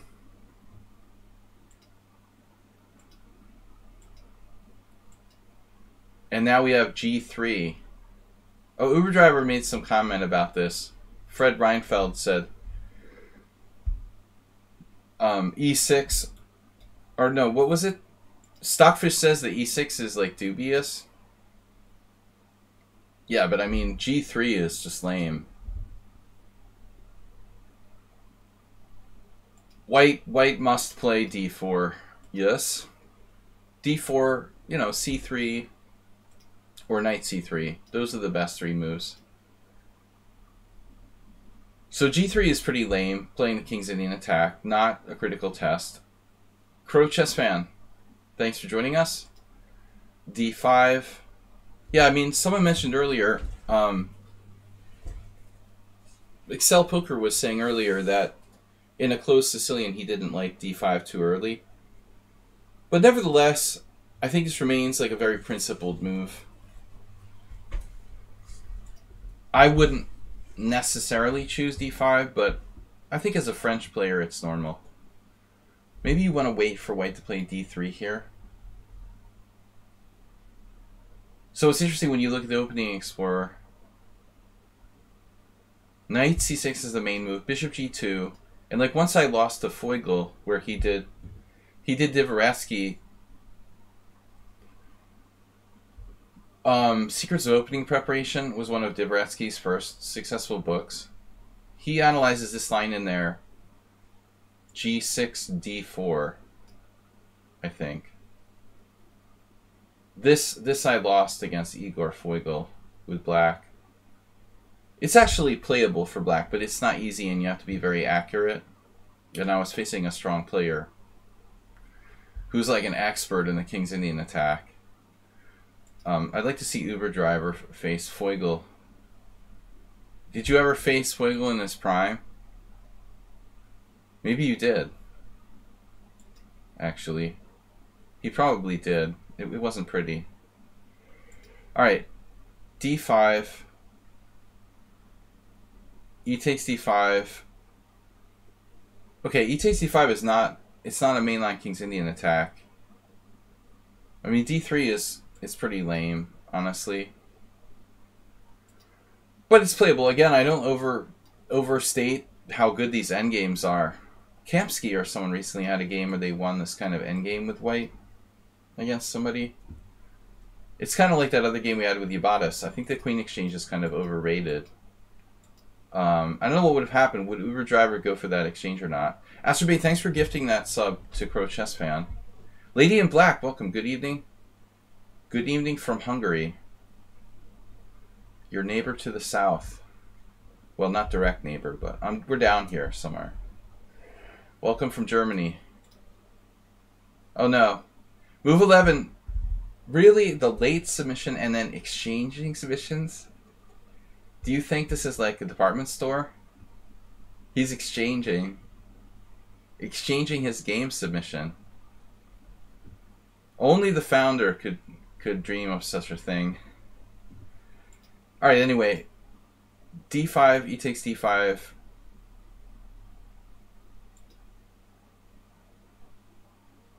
Yeah, I mean, we're going to transpose to... What is this, actually? I don't know what you call it. I mean, is it... Is it a Sicilian? Is it a French? Is it... Actually, I don't even know what to call it. Sicilian defense French variation. Well, that that sort of simplifies it. So bishop g2. I saw a Magnus game in there, and I do remember Magnus playing something like this. d4. Oh my god. Horrifying. And principled. Um, bringing back bad mem memories of another position I lost once. Wow, Uber Driver played d4. yeah, man. I'd like to see you play that against like András Adorján or something. Adorján would just go castles in b4. I mean, d4 it's really you're asking for it. I would castle and then as soon as possible we're going to play as as in hyper modern fashion as possible to destroy your your overextended center. Um,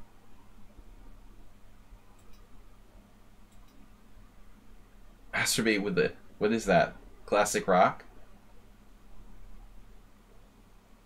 No. I can't believe Uber Driver played this move. This looks wrong. So principal says develop the kingside pieces. Knight f6. Knight f6, castle, bishop e7, get out of there. Get out of there fast. Would be recommended. So d4, I don't like it. But d3 is, is, is a terrible move by white. I mean, it's not terrible, but it just doesn't make sense. You have flexibility. You might play c3, you might play b4, you, you know. You don't need to play d3. So white should castle and then evaluate. I want to play as dynamically as possible. You know, if we if we play like Adorján with black, for example, he's going to hit you with b5. I mean, if you had this reverse color type of position, because Adorján always loved to be black. Man, I don't know. B4 looks really dangerous, undermining black's center. So let's just say knight f6. Now, what's the best move for white? Can I can I crack him with this insanely strong wing gambit here? Computer just wants to play rook e1 check.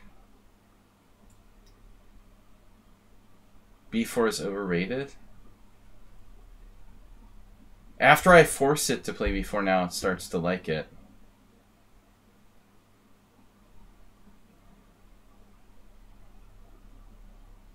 Yeah, computer coming up to point four with best play for black. C takes b4 is actually going to point eight now. This seems way more dynamic than other moves. I mean, rook e1 just looks like really routine. Of course, you could play it on the next move. You could always do like b4 here. But, you know, you can also do like c3. I mean, obviously this... This is, this is a question about whether that would be a viable option for black. I, I mean, I kind of doubt it, but you have to make sure. So anyway, this is really kind of routine play by white. d3. Castle, 97, you know. So now, now black's kind of okay. Knight on bd2. This or this. Castle, knight c4, bishop c7, preserving your bishop. Knight on c4. b5, we've got a4. Okay. Rook e1, knight c6, a4, preventing b5. Now black plays bishop g4. Botvinnik on on space advantage, right? Move 11. Now things have changed, and like Uber driver's grab with the D4 starts to look like it's it's it's profitable. Black's whole position seems to be like he's he's better based on space advantage. Maybe white should go G4, but it's just this diagonal looks scary. If you do H3, bishop H5, G4, that that will be a factor you know, later on, I mean, my knight can go in here. I'm not sure White wants to weaken his king side to chase that bishop down. And he doesn't have any squares for his queen. Notice the lack of space. Speaking of Magnus, I have seen Magnus maneuver like this. You know, queen f1 to put the queen on f1. Not just Magnus. I mean, many Kings Indian players. Might not be such a stupid idea. But probably h3. This move, not sure what that does. I mean, we could even play just h6 here. I'm kind of inclined to play h6. Like bishop h4, g5. Um, not to be Ben Finegold. but I mean, f6 weakens my king side a little bit more than h6 does. I mean, I think this diagonal might be relevant. But I think that maybe the other thing is that we might be able to play more aggressively with our with our f pawn. If we play h6, he goes back here, and we start playing f5, for example, we can play f5, f4. It might be better than h6. I mean, better than f6 to do this. f6 is solid, it's fine.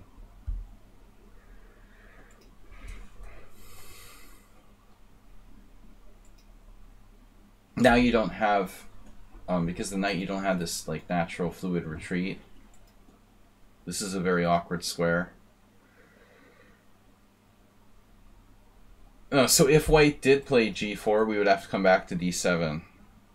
But it looks like the grob, so that's not a good idea. White plays a5. White ran out of ideas. No place for the queen. But I think queen e2. Queen e2, and if you get hit by rook e8, we go back to f1. And we try to get out of the way. Actually, it's too late, though. Yeah, queen e2, queen d7, queen f1, guarding h3. What's the evaluation? Black slightly better. Black's better because of the space, and it's real now. Instead, white played a5. Doesn't really do much. Now I would, yeah, whatever, rook b8. This rook isn't doing much here, but I don't like my rook on the long diagonal, so I was going to go rook b8 and try to play for b5. Uber Driver played this. This is a blitz game. B3, also not necessary. White doesn't seem to have a plan. Now Uber Driver just vacuums the board. Okay, not the most aggressive. Really, Uber Driver, you need to be able to play G5. You know, G5, H5, H4. Your, your knight is in the way of your pawn structure. If you were able to play G5, as crazy as that sounds, I mean, Korchnoi would advocate for G5. Okay, rook takes c1, queen takes c1, rook e8, queen c1, and now b6. Eh. I mean, honestly, like, if you move the b pawn, why not play b5? You might as well play b5 and hope he, like, puts his knight on b2 or something. Why, why play b6? Why not just go here? knight a3, a6, and you're better. He's got to take anyway, but there's a chance that White won't, you know, and, and mess up his position even worse. Um, now, like, okay, of course he's going to take knight g1, and this is a bad sign. White's running out of space. And this is classic. So the space advantage really very serious here. Bishop h3, plausible. Now we're really in Botvinnik territory. Oh, this is just a blunder. So he just hung a pawn. Yeah. What? He takes on g6. Wow, that might be even worse. Yeah, yeah, he's going to lose the h-pawn. Oh, the h-pawn was hanging. Thanks, Pro Chess Fan. I didn't realize it was hanging to that tactic on the diagonal. It hadn't even occurred to me. So that really makes h4 look insane. Oh, okay. Yeah, he could have just taken it. Yeah, I mean, h4 is a catastrophic blunder. I mean, obviously there there are stupid lines like this. You could do that.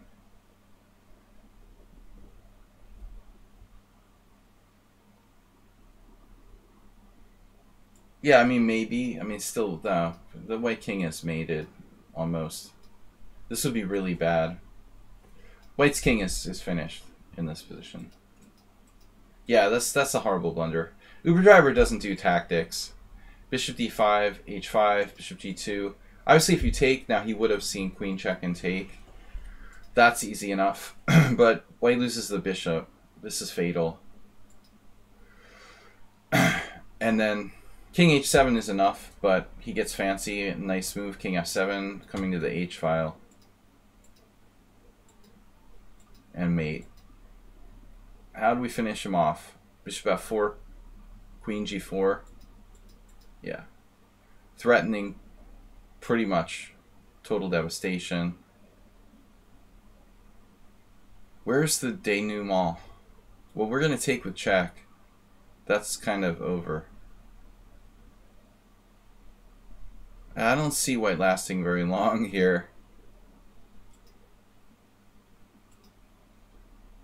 and White hung a piece. Anyway, there's nothing he could do. Yeah, I mean it was it was it was a good position at the at the second half of the game, but I don't think d4 was a good plan. Objectively, white white should have been able to take advantage of that. Jim is up next. Um, nice. Thank you for the sub- subscription, Astrobate. Um, for Pro Chess Fan. Thanks for pointing out that hanging pawn. That that was very relevant. I appreciate it when people are actually paying attention during class and raise their hand and say, "Hey, his pawn is hanging."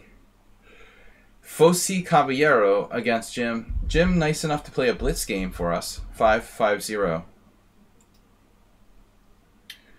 Yeah, normally Jim's playing a lot of B3, but it's nice to see him play classical opening, E4, E5, and then the center attack, which I've been throwing out there. It's fun. It opens the game. Um,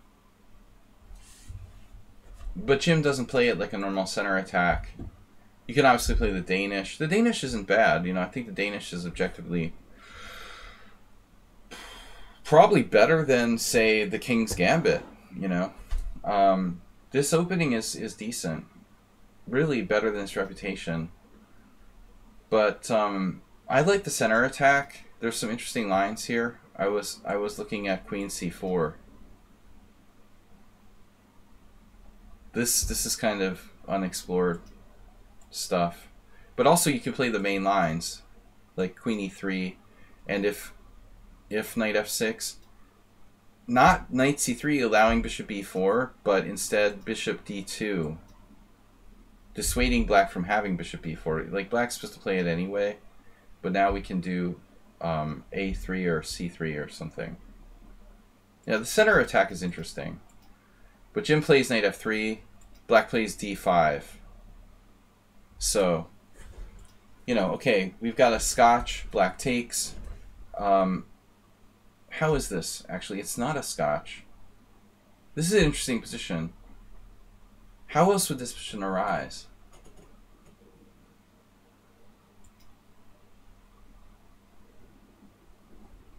So it's not a scotch. I keep calling it a scotch. So I thought it's interesting that black played d5 here. um, unexplored variation. But it look look at the guy who played black. Alterman has a game here. Pedro Lezcano. A whole bunch of 2300s. No, this move looks looks interesting.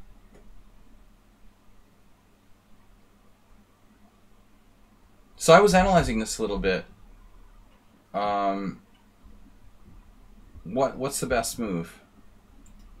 Pawn takes d5, is it? Or queen takes d4?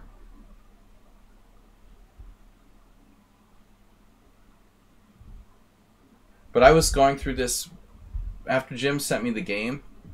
I was thinking about this line with queen takes d4. It's funny here because there's like seven games with knight f6, which is obviously, you know, a natural move.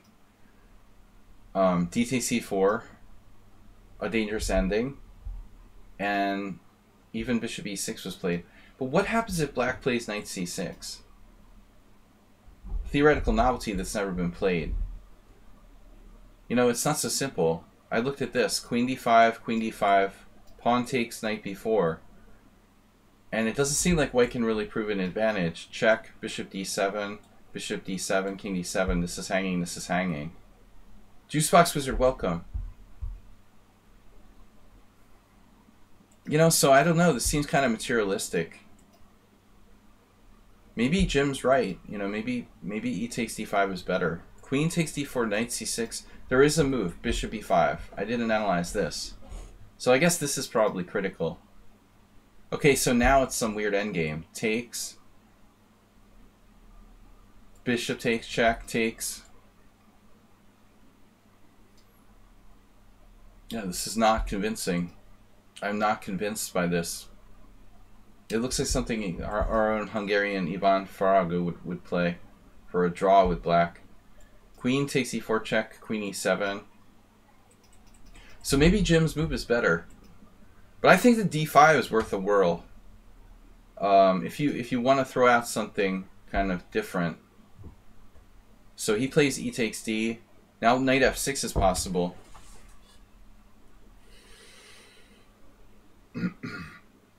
Man, only five games that this position has been reached into the master level. That's pretty amazing. Notably, a Kiryakov game, the Lezcano game, the Spanish I am.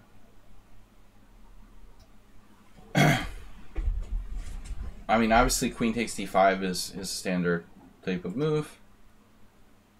So knight c3 fails to queen e6 check.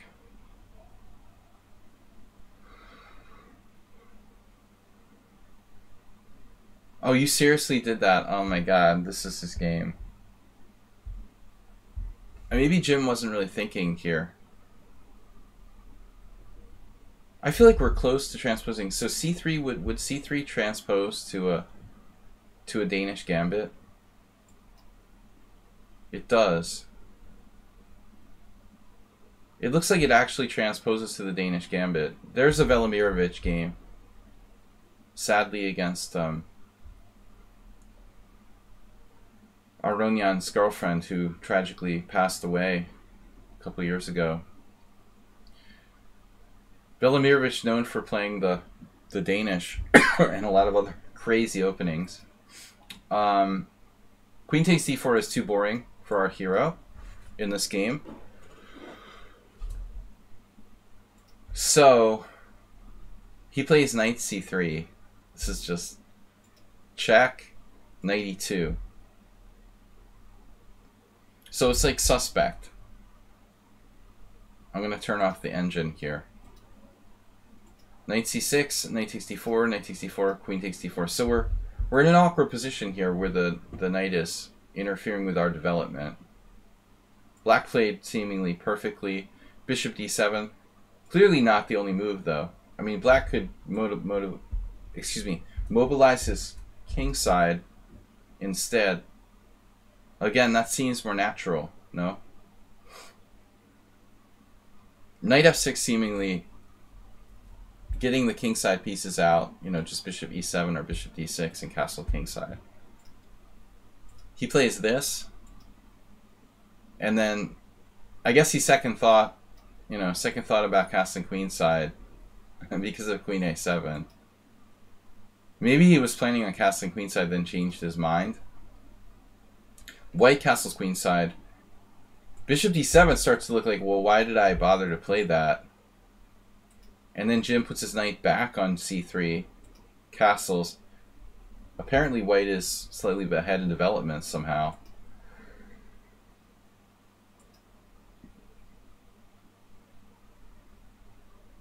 Difficult call. but I, I mean, maybe queen b6. Queen b6, queen b6, cb6. It seems to be okay. On f5, the queen's a little bit more exposed. Wow, Jim with a really crazy idea here. g4. This is why this is why he like submitted the game. It looks like his bullet instincts come out. Sacrificing a pawn to open lines. And um, black looking to maybe panic here with queen queen c5. Do we have g5?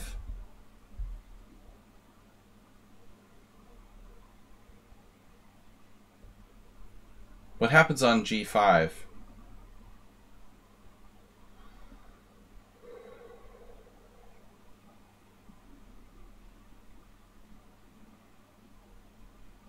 Is it Is it maybe knight h5?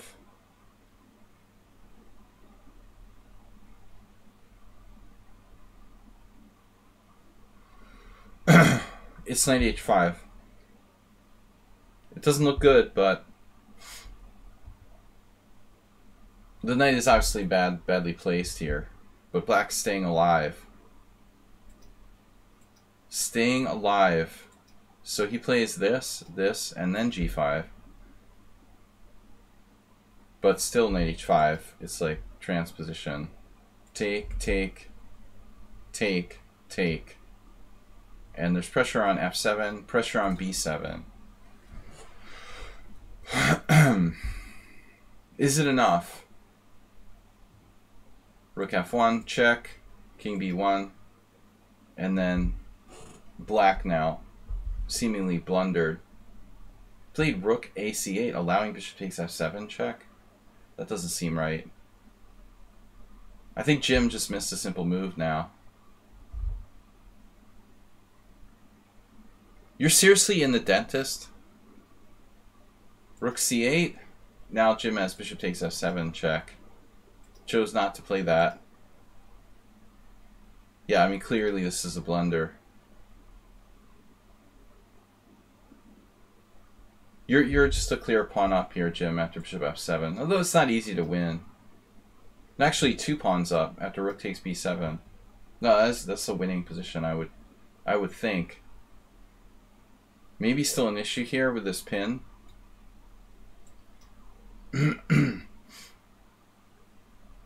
but probably not not a big deal. I don't know. I imagine that white is close to winning. Plus four. Plus four should do it. So, blitz game, we missed it, and then he plays this.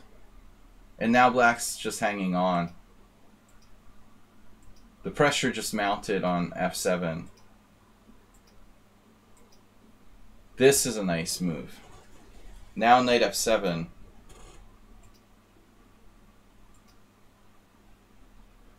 Willing to trade the two pieces.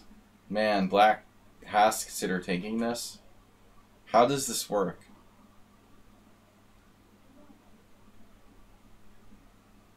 Is this a bluff? I mean, is this working?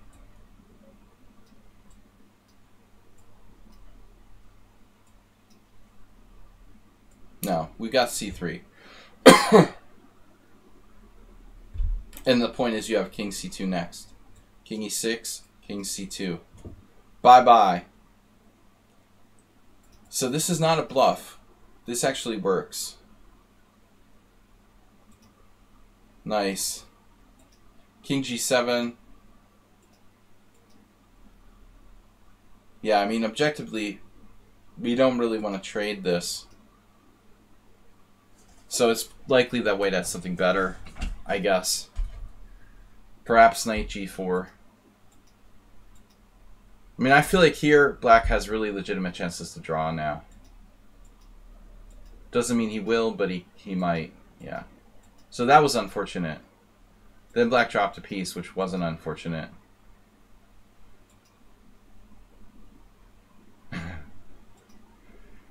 yeah. Check is okay, but but rook e2 check not such a hot idea. So black needs to play. well, actually, rook f7 is a serious problem. So he, he probably has to play like rook e7. But I would imagine this is not easy for white to win. So he won a piece, and it's pretty much over. All right, Jim. Interesting game. Interesting opening. You know, I like that. We've got Excel Poker.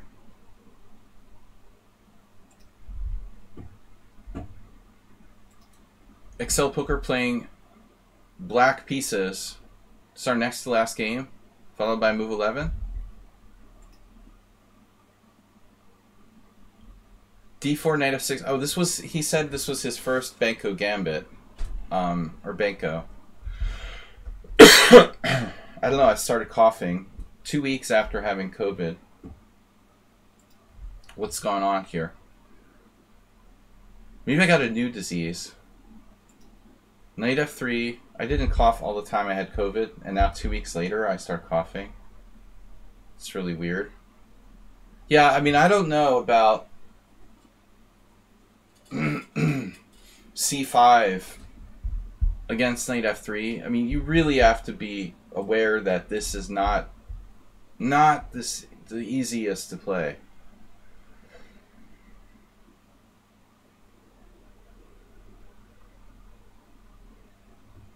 Um, B5. I don't know how good this E6, excuse me, E6 and knight c3 is. It's basically a ready in reverse. So you have g6, e6, or b5. I don't know where the status of this line is, you know, for white. Or both colors for that matter, you know. But if you if you intend to play this move order, you better be booked up. I would be a little hesitant to play c5 without really know knowing what I'm doing. It's not the same as the Blumenfeld, you know. It could transpose to a Blumenfeld if white were to play c4, obviously. But it's it's probably better than the Blumenfeld, you know, for white. Honestly. this line has has a kind of shady reputation for black. Um, I mean, if you really want to be on the safe side, maybe just playing a, you know, Benoni, Schmid Benoni or whatever. You know, the problem is white doesn't have to play c4. I mean, white strong players are going to play knight c3 if you try to play g6. A lot of weaker players don't understand that, but I mean, knight c3 is a stronger move than just transposing to the Benoni. All right, g3 Instead of g6, 94 is possible. Uh, what? What? Knight e4? Not here. You're talking about this? The vulture? It's a, like, accelerated vulture? what is that?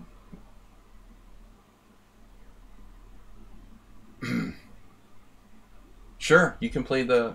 Let's just play the the Wojciechowicz. Alright. Knight f3, c5, g3. This is, of course, not dangerous. Um, black should just destroy the center. c takes d. And this equalizes on the spot, I would think. Maybe white should play bishop g2, objectively. What's the deal with this? e5, castles. We keep the pawn. c3. It's like a Morra gambit. It's a really weird Morra gambit. Wow, white won every game from this position.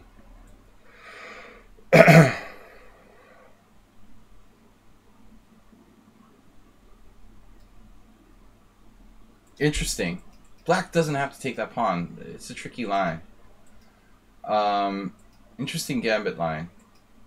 So anyway, yeah, I mean, Excel Poker should definitely take on D4, but if he wants to play a hyper modern game, okay, you know, he wants to play a hyper modern game. G6, D5, and now it should be a Schmid Benoni, but G3 is not so dangerous.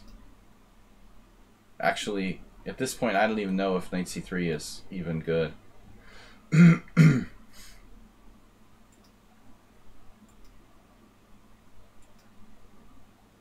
So it's not a Benko until white plays c4. Now it's now it's a Benoni, and now it's a Benko.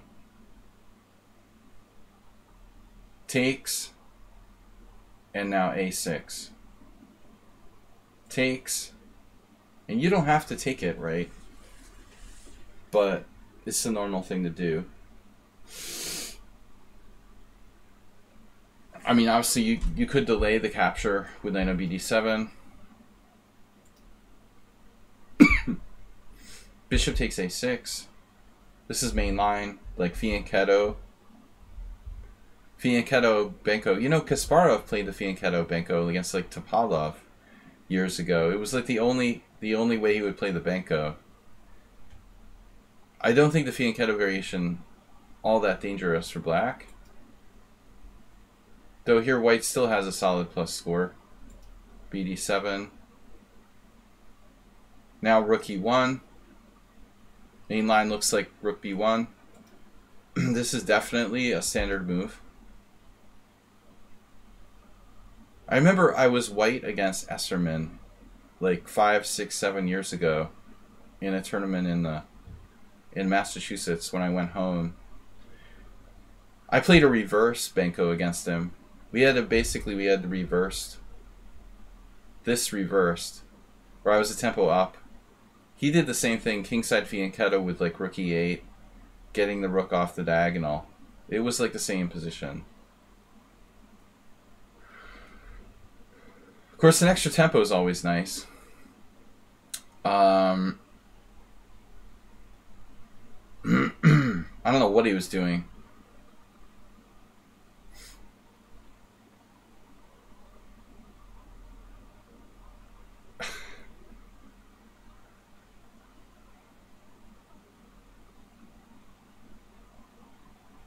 Yeah, no, I mean, it was a crazy game. I was better than I was worse, then it was a draw. Queen b6. Here. The next game was horrible, though. I lost like an idiot against Tamaz Gelashvili. Because I had to play... I always do that. I like... If I have a really long game in a two rounds a day tournament, and the first, the morning game is really long, and I play a strong opponent, I just like fold like a house of cards.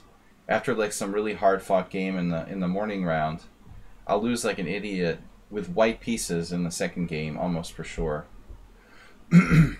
Actually, against Gelashvili, I was white too, yeah. I do that a lot. I really gotta stop doing that. So I don't know, queen b6, queen a5. How do we choose the plan here for black? Knight b6? I have a fetish for like putting my queen on a8, but it's probably not good here. I guess queen b6 is normal. I think this this is more common.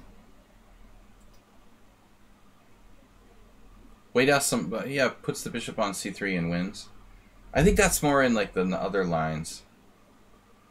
I don't know if that's how it goes in the Fianchetto variation Uber Driver. So queen b6, e4. Yeah, now you have knight g4, knight e5, knight e3, which is standard.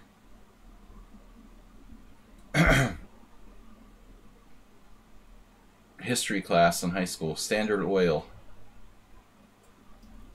Yeah, I mean this this is just kindergarten maneuver. White didn't know about that. Yeah, I mean he should play H H3. And then you have to think about like another path for your knight through there. So like what do we do now? Rook f b8, clearing the way for like 98, knight c7, knight b5. e4, knight e8. Exactly. Queen c2, knight c7, heading for b5, rook b1. Ah, oh, Velimirovich against Bilek Istvan. 2500. Yeah, I think this is correct play. Yeah, he needs to get his bishop to, to d2 and c3, like Uber Driver said. Yeah, that's what happens. White should have played... Well, this is a threat now.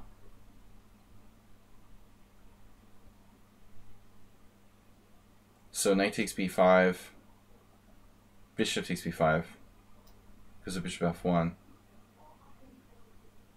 You're threatening queen a6. Yeah, this is basically how you're supposed to play it. Bilek Maybe we should call it the Bilek Gambit. They're, they're naming it after the wrong Hungarian. Alright, Queen b6, e4, knight g4, knight d2, uh-oh. Tolu. That doesn't look good. I was teaching one of my beginner students to start to identify like the weak squares in the position. I mean, identify the weak squares. Take this position for example. Interesting question. How many squares on the board at this moment are not protected by anything? You know, let's let's take a look. One. Well, I mean that's protected by our bishop. But white doesn't have it protected by anything. G5 is not protected by anything. But D3 is really screaming out as like the biggest weakness. Here. Yeah, H5. I don't know, man. H5 is really a little over the top. I don't want to screw around. Like, why did you reject 95?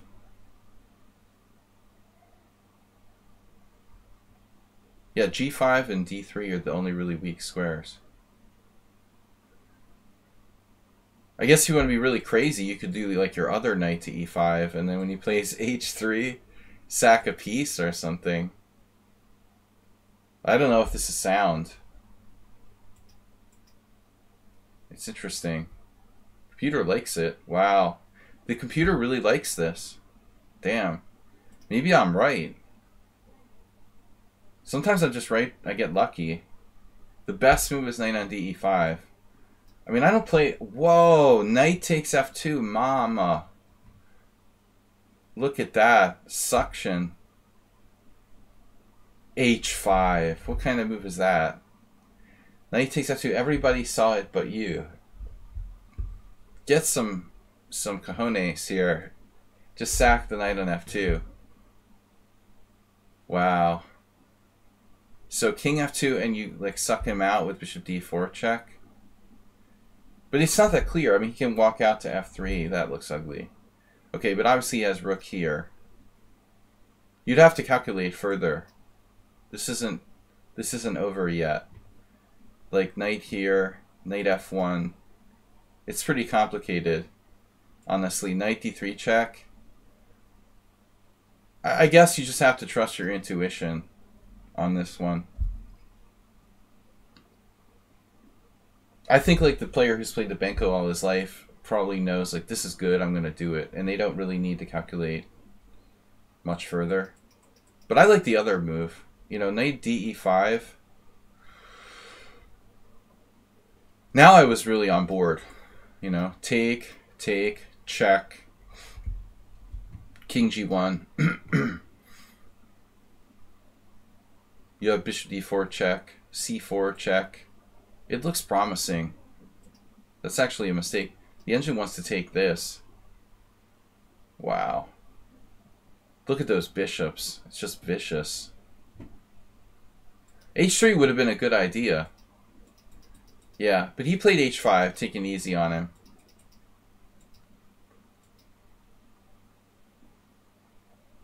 You can still sack it, obviously.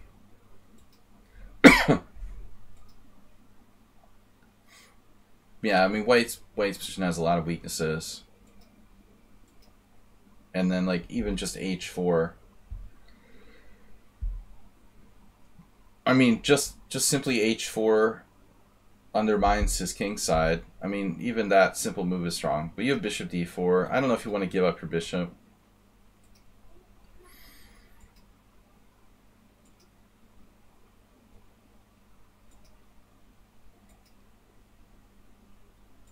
And you're going to eventually take that exchange. Damn. Yeah, all the pieces are working. He does take it, though. Always take it. Now you've got queen d4, massively powerful centralized queen. also a good defender in this instance here. You might need that queen defending. White has like bishop e4, knight e4. Give him a little bit of play. He just doesn't. He does. He never did it. He never did his did his queen into d4. It might be too late now though, because knight e6. Rook f8 is good enough. Yeah, I mean you're just winning.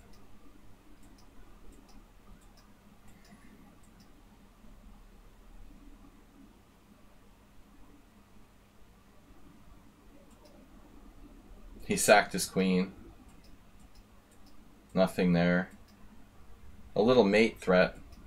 Nice. Yeah, that was a good game. Played like a Benko natural. Our last game for today is move 11. But I've got to get the right game because he's he's returned it. No, exchanged. This is not Macy's. Exchanges cost like 200 bits, Move 11. You realize that. I'm submitting a 5 plus 3 game I played on Lichess. Oh no, I'd like to change my submission for this one. A very interesting game Timur Gareev had white versus a friend of mine who remains anonymous. The time control was game 100 plus 30, so sounds like continental chess. We'll look it up.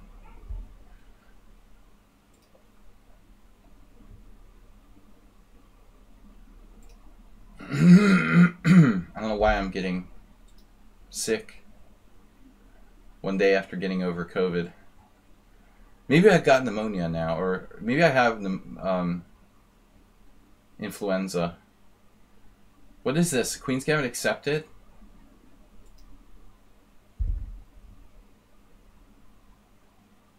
Alright, we'll just leave it in this window.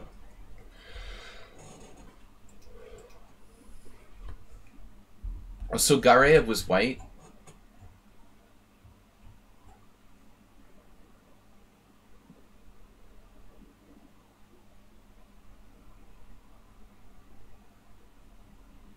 Yeah, this is uh white is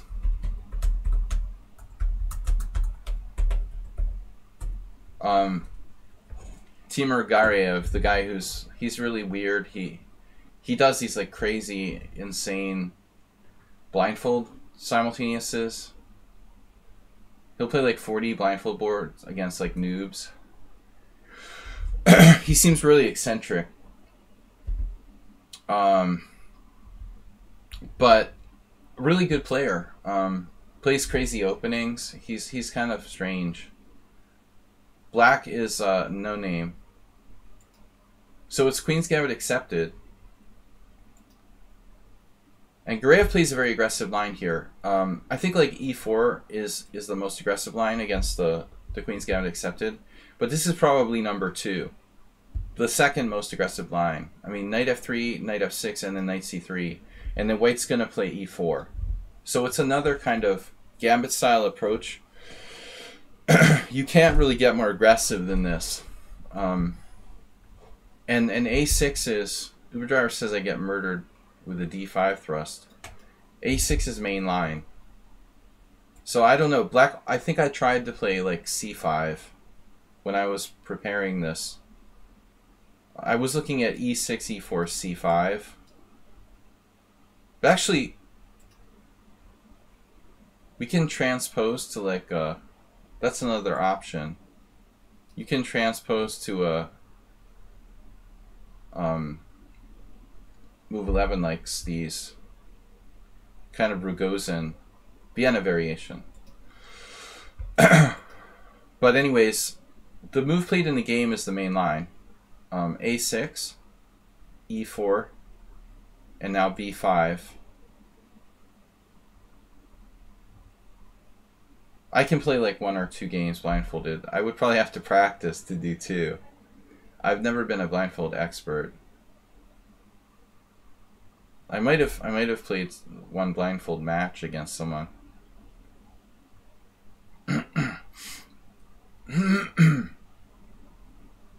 All right. Anyway, main line e5. So it's a lot like the Geller Gambit in the Slav. It's just like black has played a6 instead of c6. Which in one way is an advantage that you have the open diagonal here.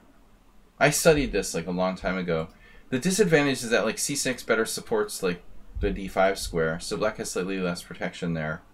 This is main line. Knight d5, a4, and then um, Move 11, can we transpose to one of your openings? Like one of these e6 takes? Knight b6 or something? Come to think of it? Is that... Is that just a weird way of playing your line? They're playing my line.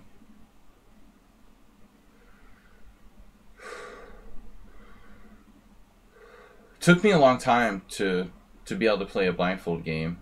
I was definitely a national master before I could do it.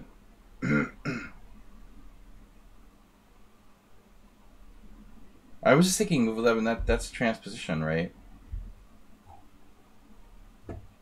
Well, there are some similarities to Alekhine's defense, I guess. I was just thinking like this would give direct transposition to that. But I think the move chosen in the game is like I don't know anything about this. Black has to be careful of this e6. This This was one of the lines that I studied 20 years ago when I was thinking of playing the Queen's Gambit accepted. Black has like f6. I think this used to be considered to be. It's funny, this Belozerov guy, who's the first game on the list. I had a game on. I had a game on, on the site against him. But it looks like f takes e6. Wow. That may be like a newer newer move. Looks like there's games in there from a long time ago. It's not so new. Alright. So bishop e7 is kind of risky because you, you weaken control of, of e6.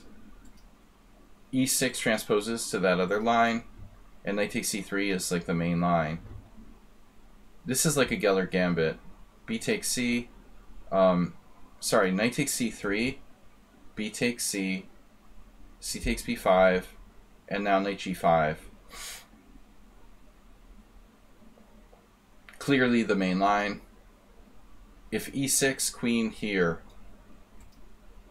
I am kind of out of book now.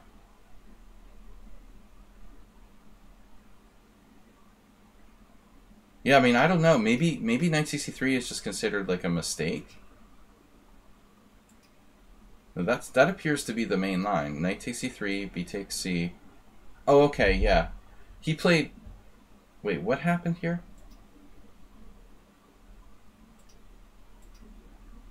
I'm a little confused. Black played. Oh, black played c6. That's weird. Okay.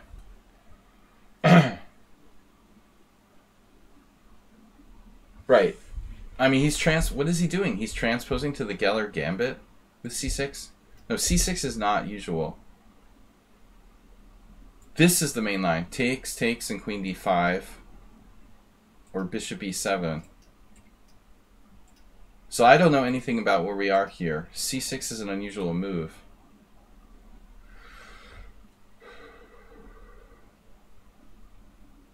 Take, take, take, take knight g5. Wow.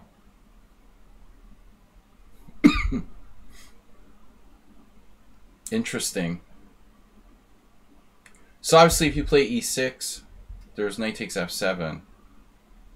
Knight f7, king f7, and queen f3 check, taking the rook at a8. Um, so black has to be like, this is super dangerous. He has to be very careful rook a7. So, we're following some games. Notably, Svidler losing in 2019. What What is it when Svidler doesn't play the Grunfeld? Is that playing for a win or a draw? Knight f7 anyway? Are you serious? even even um, Gareev wouldn't do that. So this was played naturally in all four of these games.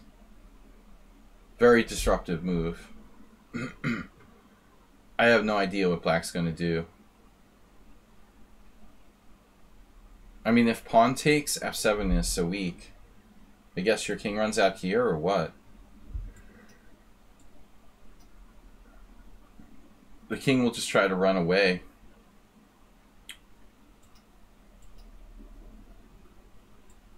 Peter played this. Ended up losing anyway.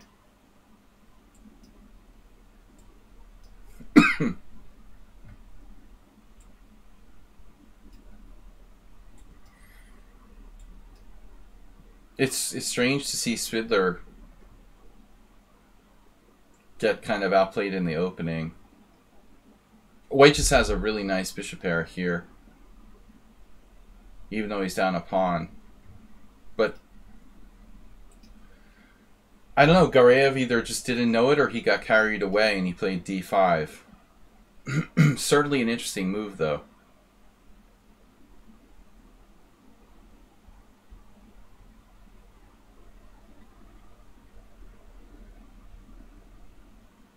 So he's trying to annihilate black here. Now h6. yeah, I mean, you got to start looking at 96 and stuff.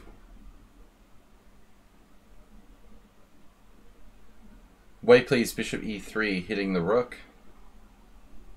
Wow. So if you're going to put the rook on a square, like you're looking at rook d7, oh man, that's just, that's sick. This is like straight out of a simul, literally. Rook d7, 96, game over. That would be so perverse. Yeah. Pawn takes pawn, the queen is mated, then the king is mated.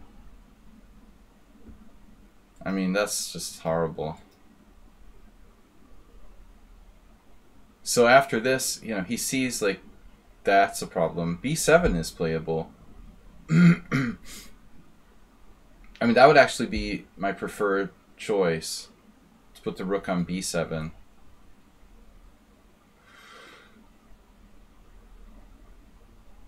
I don't know why he preferred this square.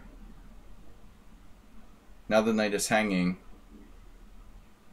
So Gareev sacks a piece now, like Uber Driver suggested.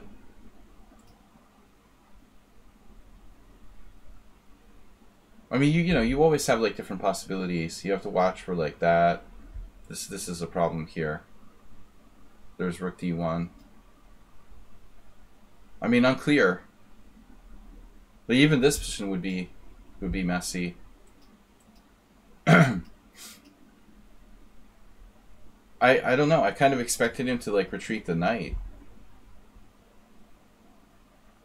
But it looks like white maybe white doesn't have enough compensation. What happens if like e6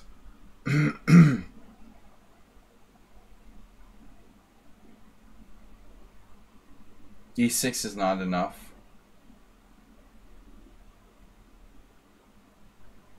So he sacks the piece here. I don't know.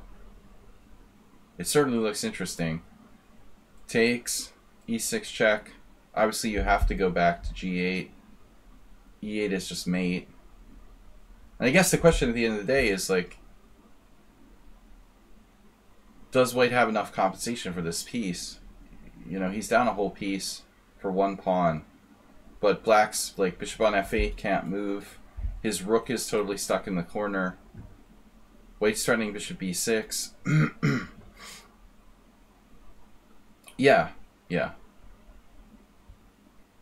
I mean, clearly he has bishop b6 if he wants it. But the problem is, I guess, like bishop b7. You know, you take and black starts to kind of unravel. I'm not sure. You know, I mean, he can he can wiggle out with like h5, rook h6.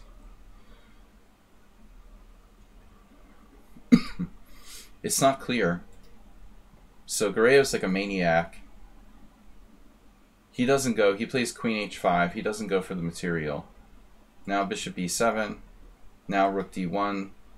And now he no longer has the option to win material with bishop e6.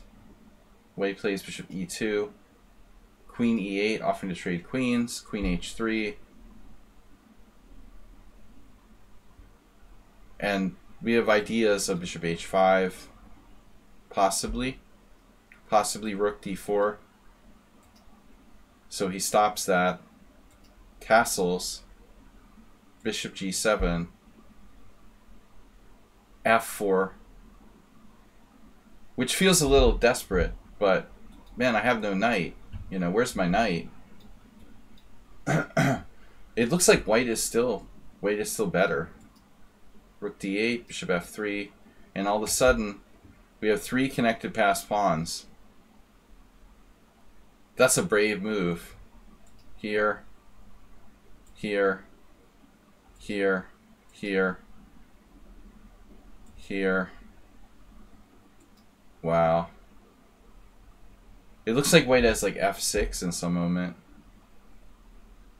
Yeah, it's a super insane position. I mean, D6 is coming. Why doesn't he have D6 here?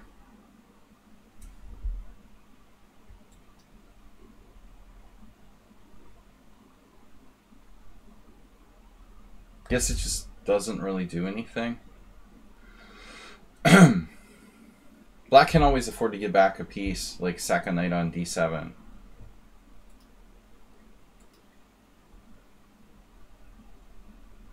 So now he starts to begin threats of bishop d4 check.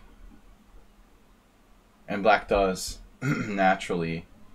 Black is willing to give back a piece now. And that's what happened. ed7. Queen d7, bishop d4 check. Man. The queen is hanging. So king h6. If queen d7, bishop d4 check. So material is finally like plus two pawns for black. Check here and perpetual. Wow, I mean that was crazy. I don't even want to know what the computer said. I mean, I think that white must have been close to winning. But it was certainly a fun game. Very interesting. Um, but it's it's strange for me that black played that c6.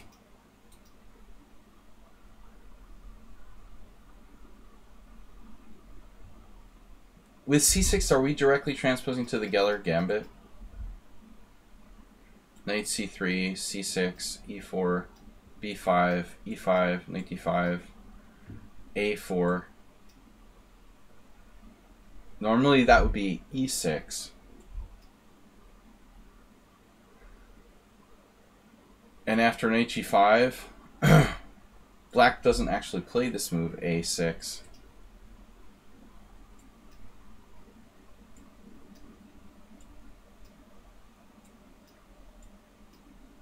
So that's the thing about this position, like a6 just isn't played.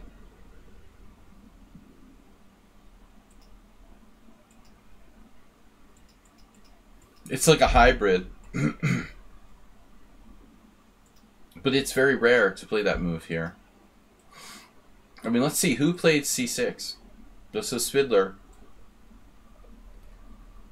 It's interesting. I mean, Svidler is hardly an expert in the in the Queen's Gambit accepted. He's mostly playing the Grunfeld. It doesn't seem right to play c6 here.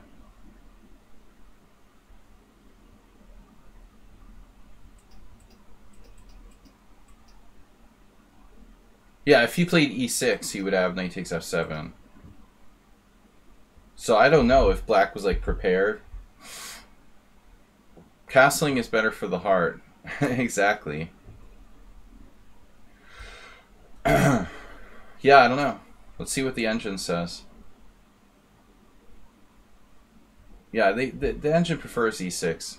So it looks like Gareev just, you know, played the second best move. It's very complex. It's very possible he knows like e6 is the move, but he just wanted to try this. it looks like e6 is very strong. D5 is like a secondary refutation. h6 is best. Bishop e3 is best. Rook c7 is best. Oh, wow. So knight e6 instead.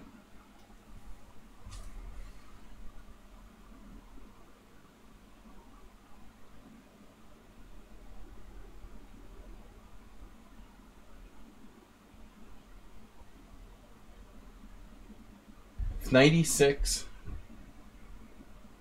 pawn e6, queen h5 check, king d7, castle's queen side. I wonder if Gareev would have seen this in blindfold chess.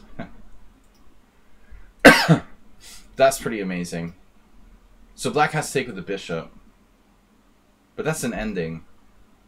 You know, not not not really that attractive, I guess. For a grandmaster, black has these pawns on the queen side. I mean, I don't know. Trade the queens there. It's really interesting. Thanks everybody for sharing your games. I will be back hopefully um, I'll be back tomorrow morning with with some blitz challenges against subscribers and and everyone, friends, countrymen, and uh, noobs. Thanks everybody for watching and tuning in. Thanks for your support for subscribing. Thanks for the gift sub from Asterbate. Appreciate it. I will be back Friday Blitz stream and Sunday simul stream if my if I don't lose my voice due to extended COVID. Again, guys, thank you. I'll see everybody later. Thank you very much for tuning in, my friends.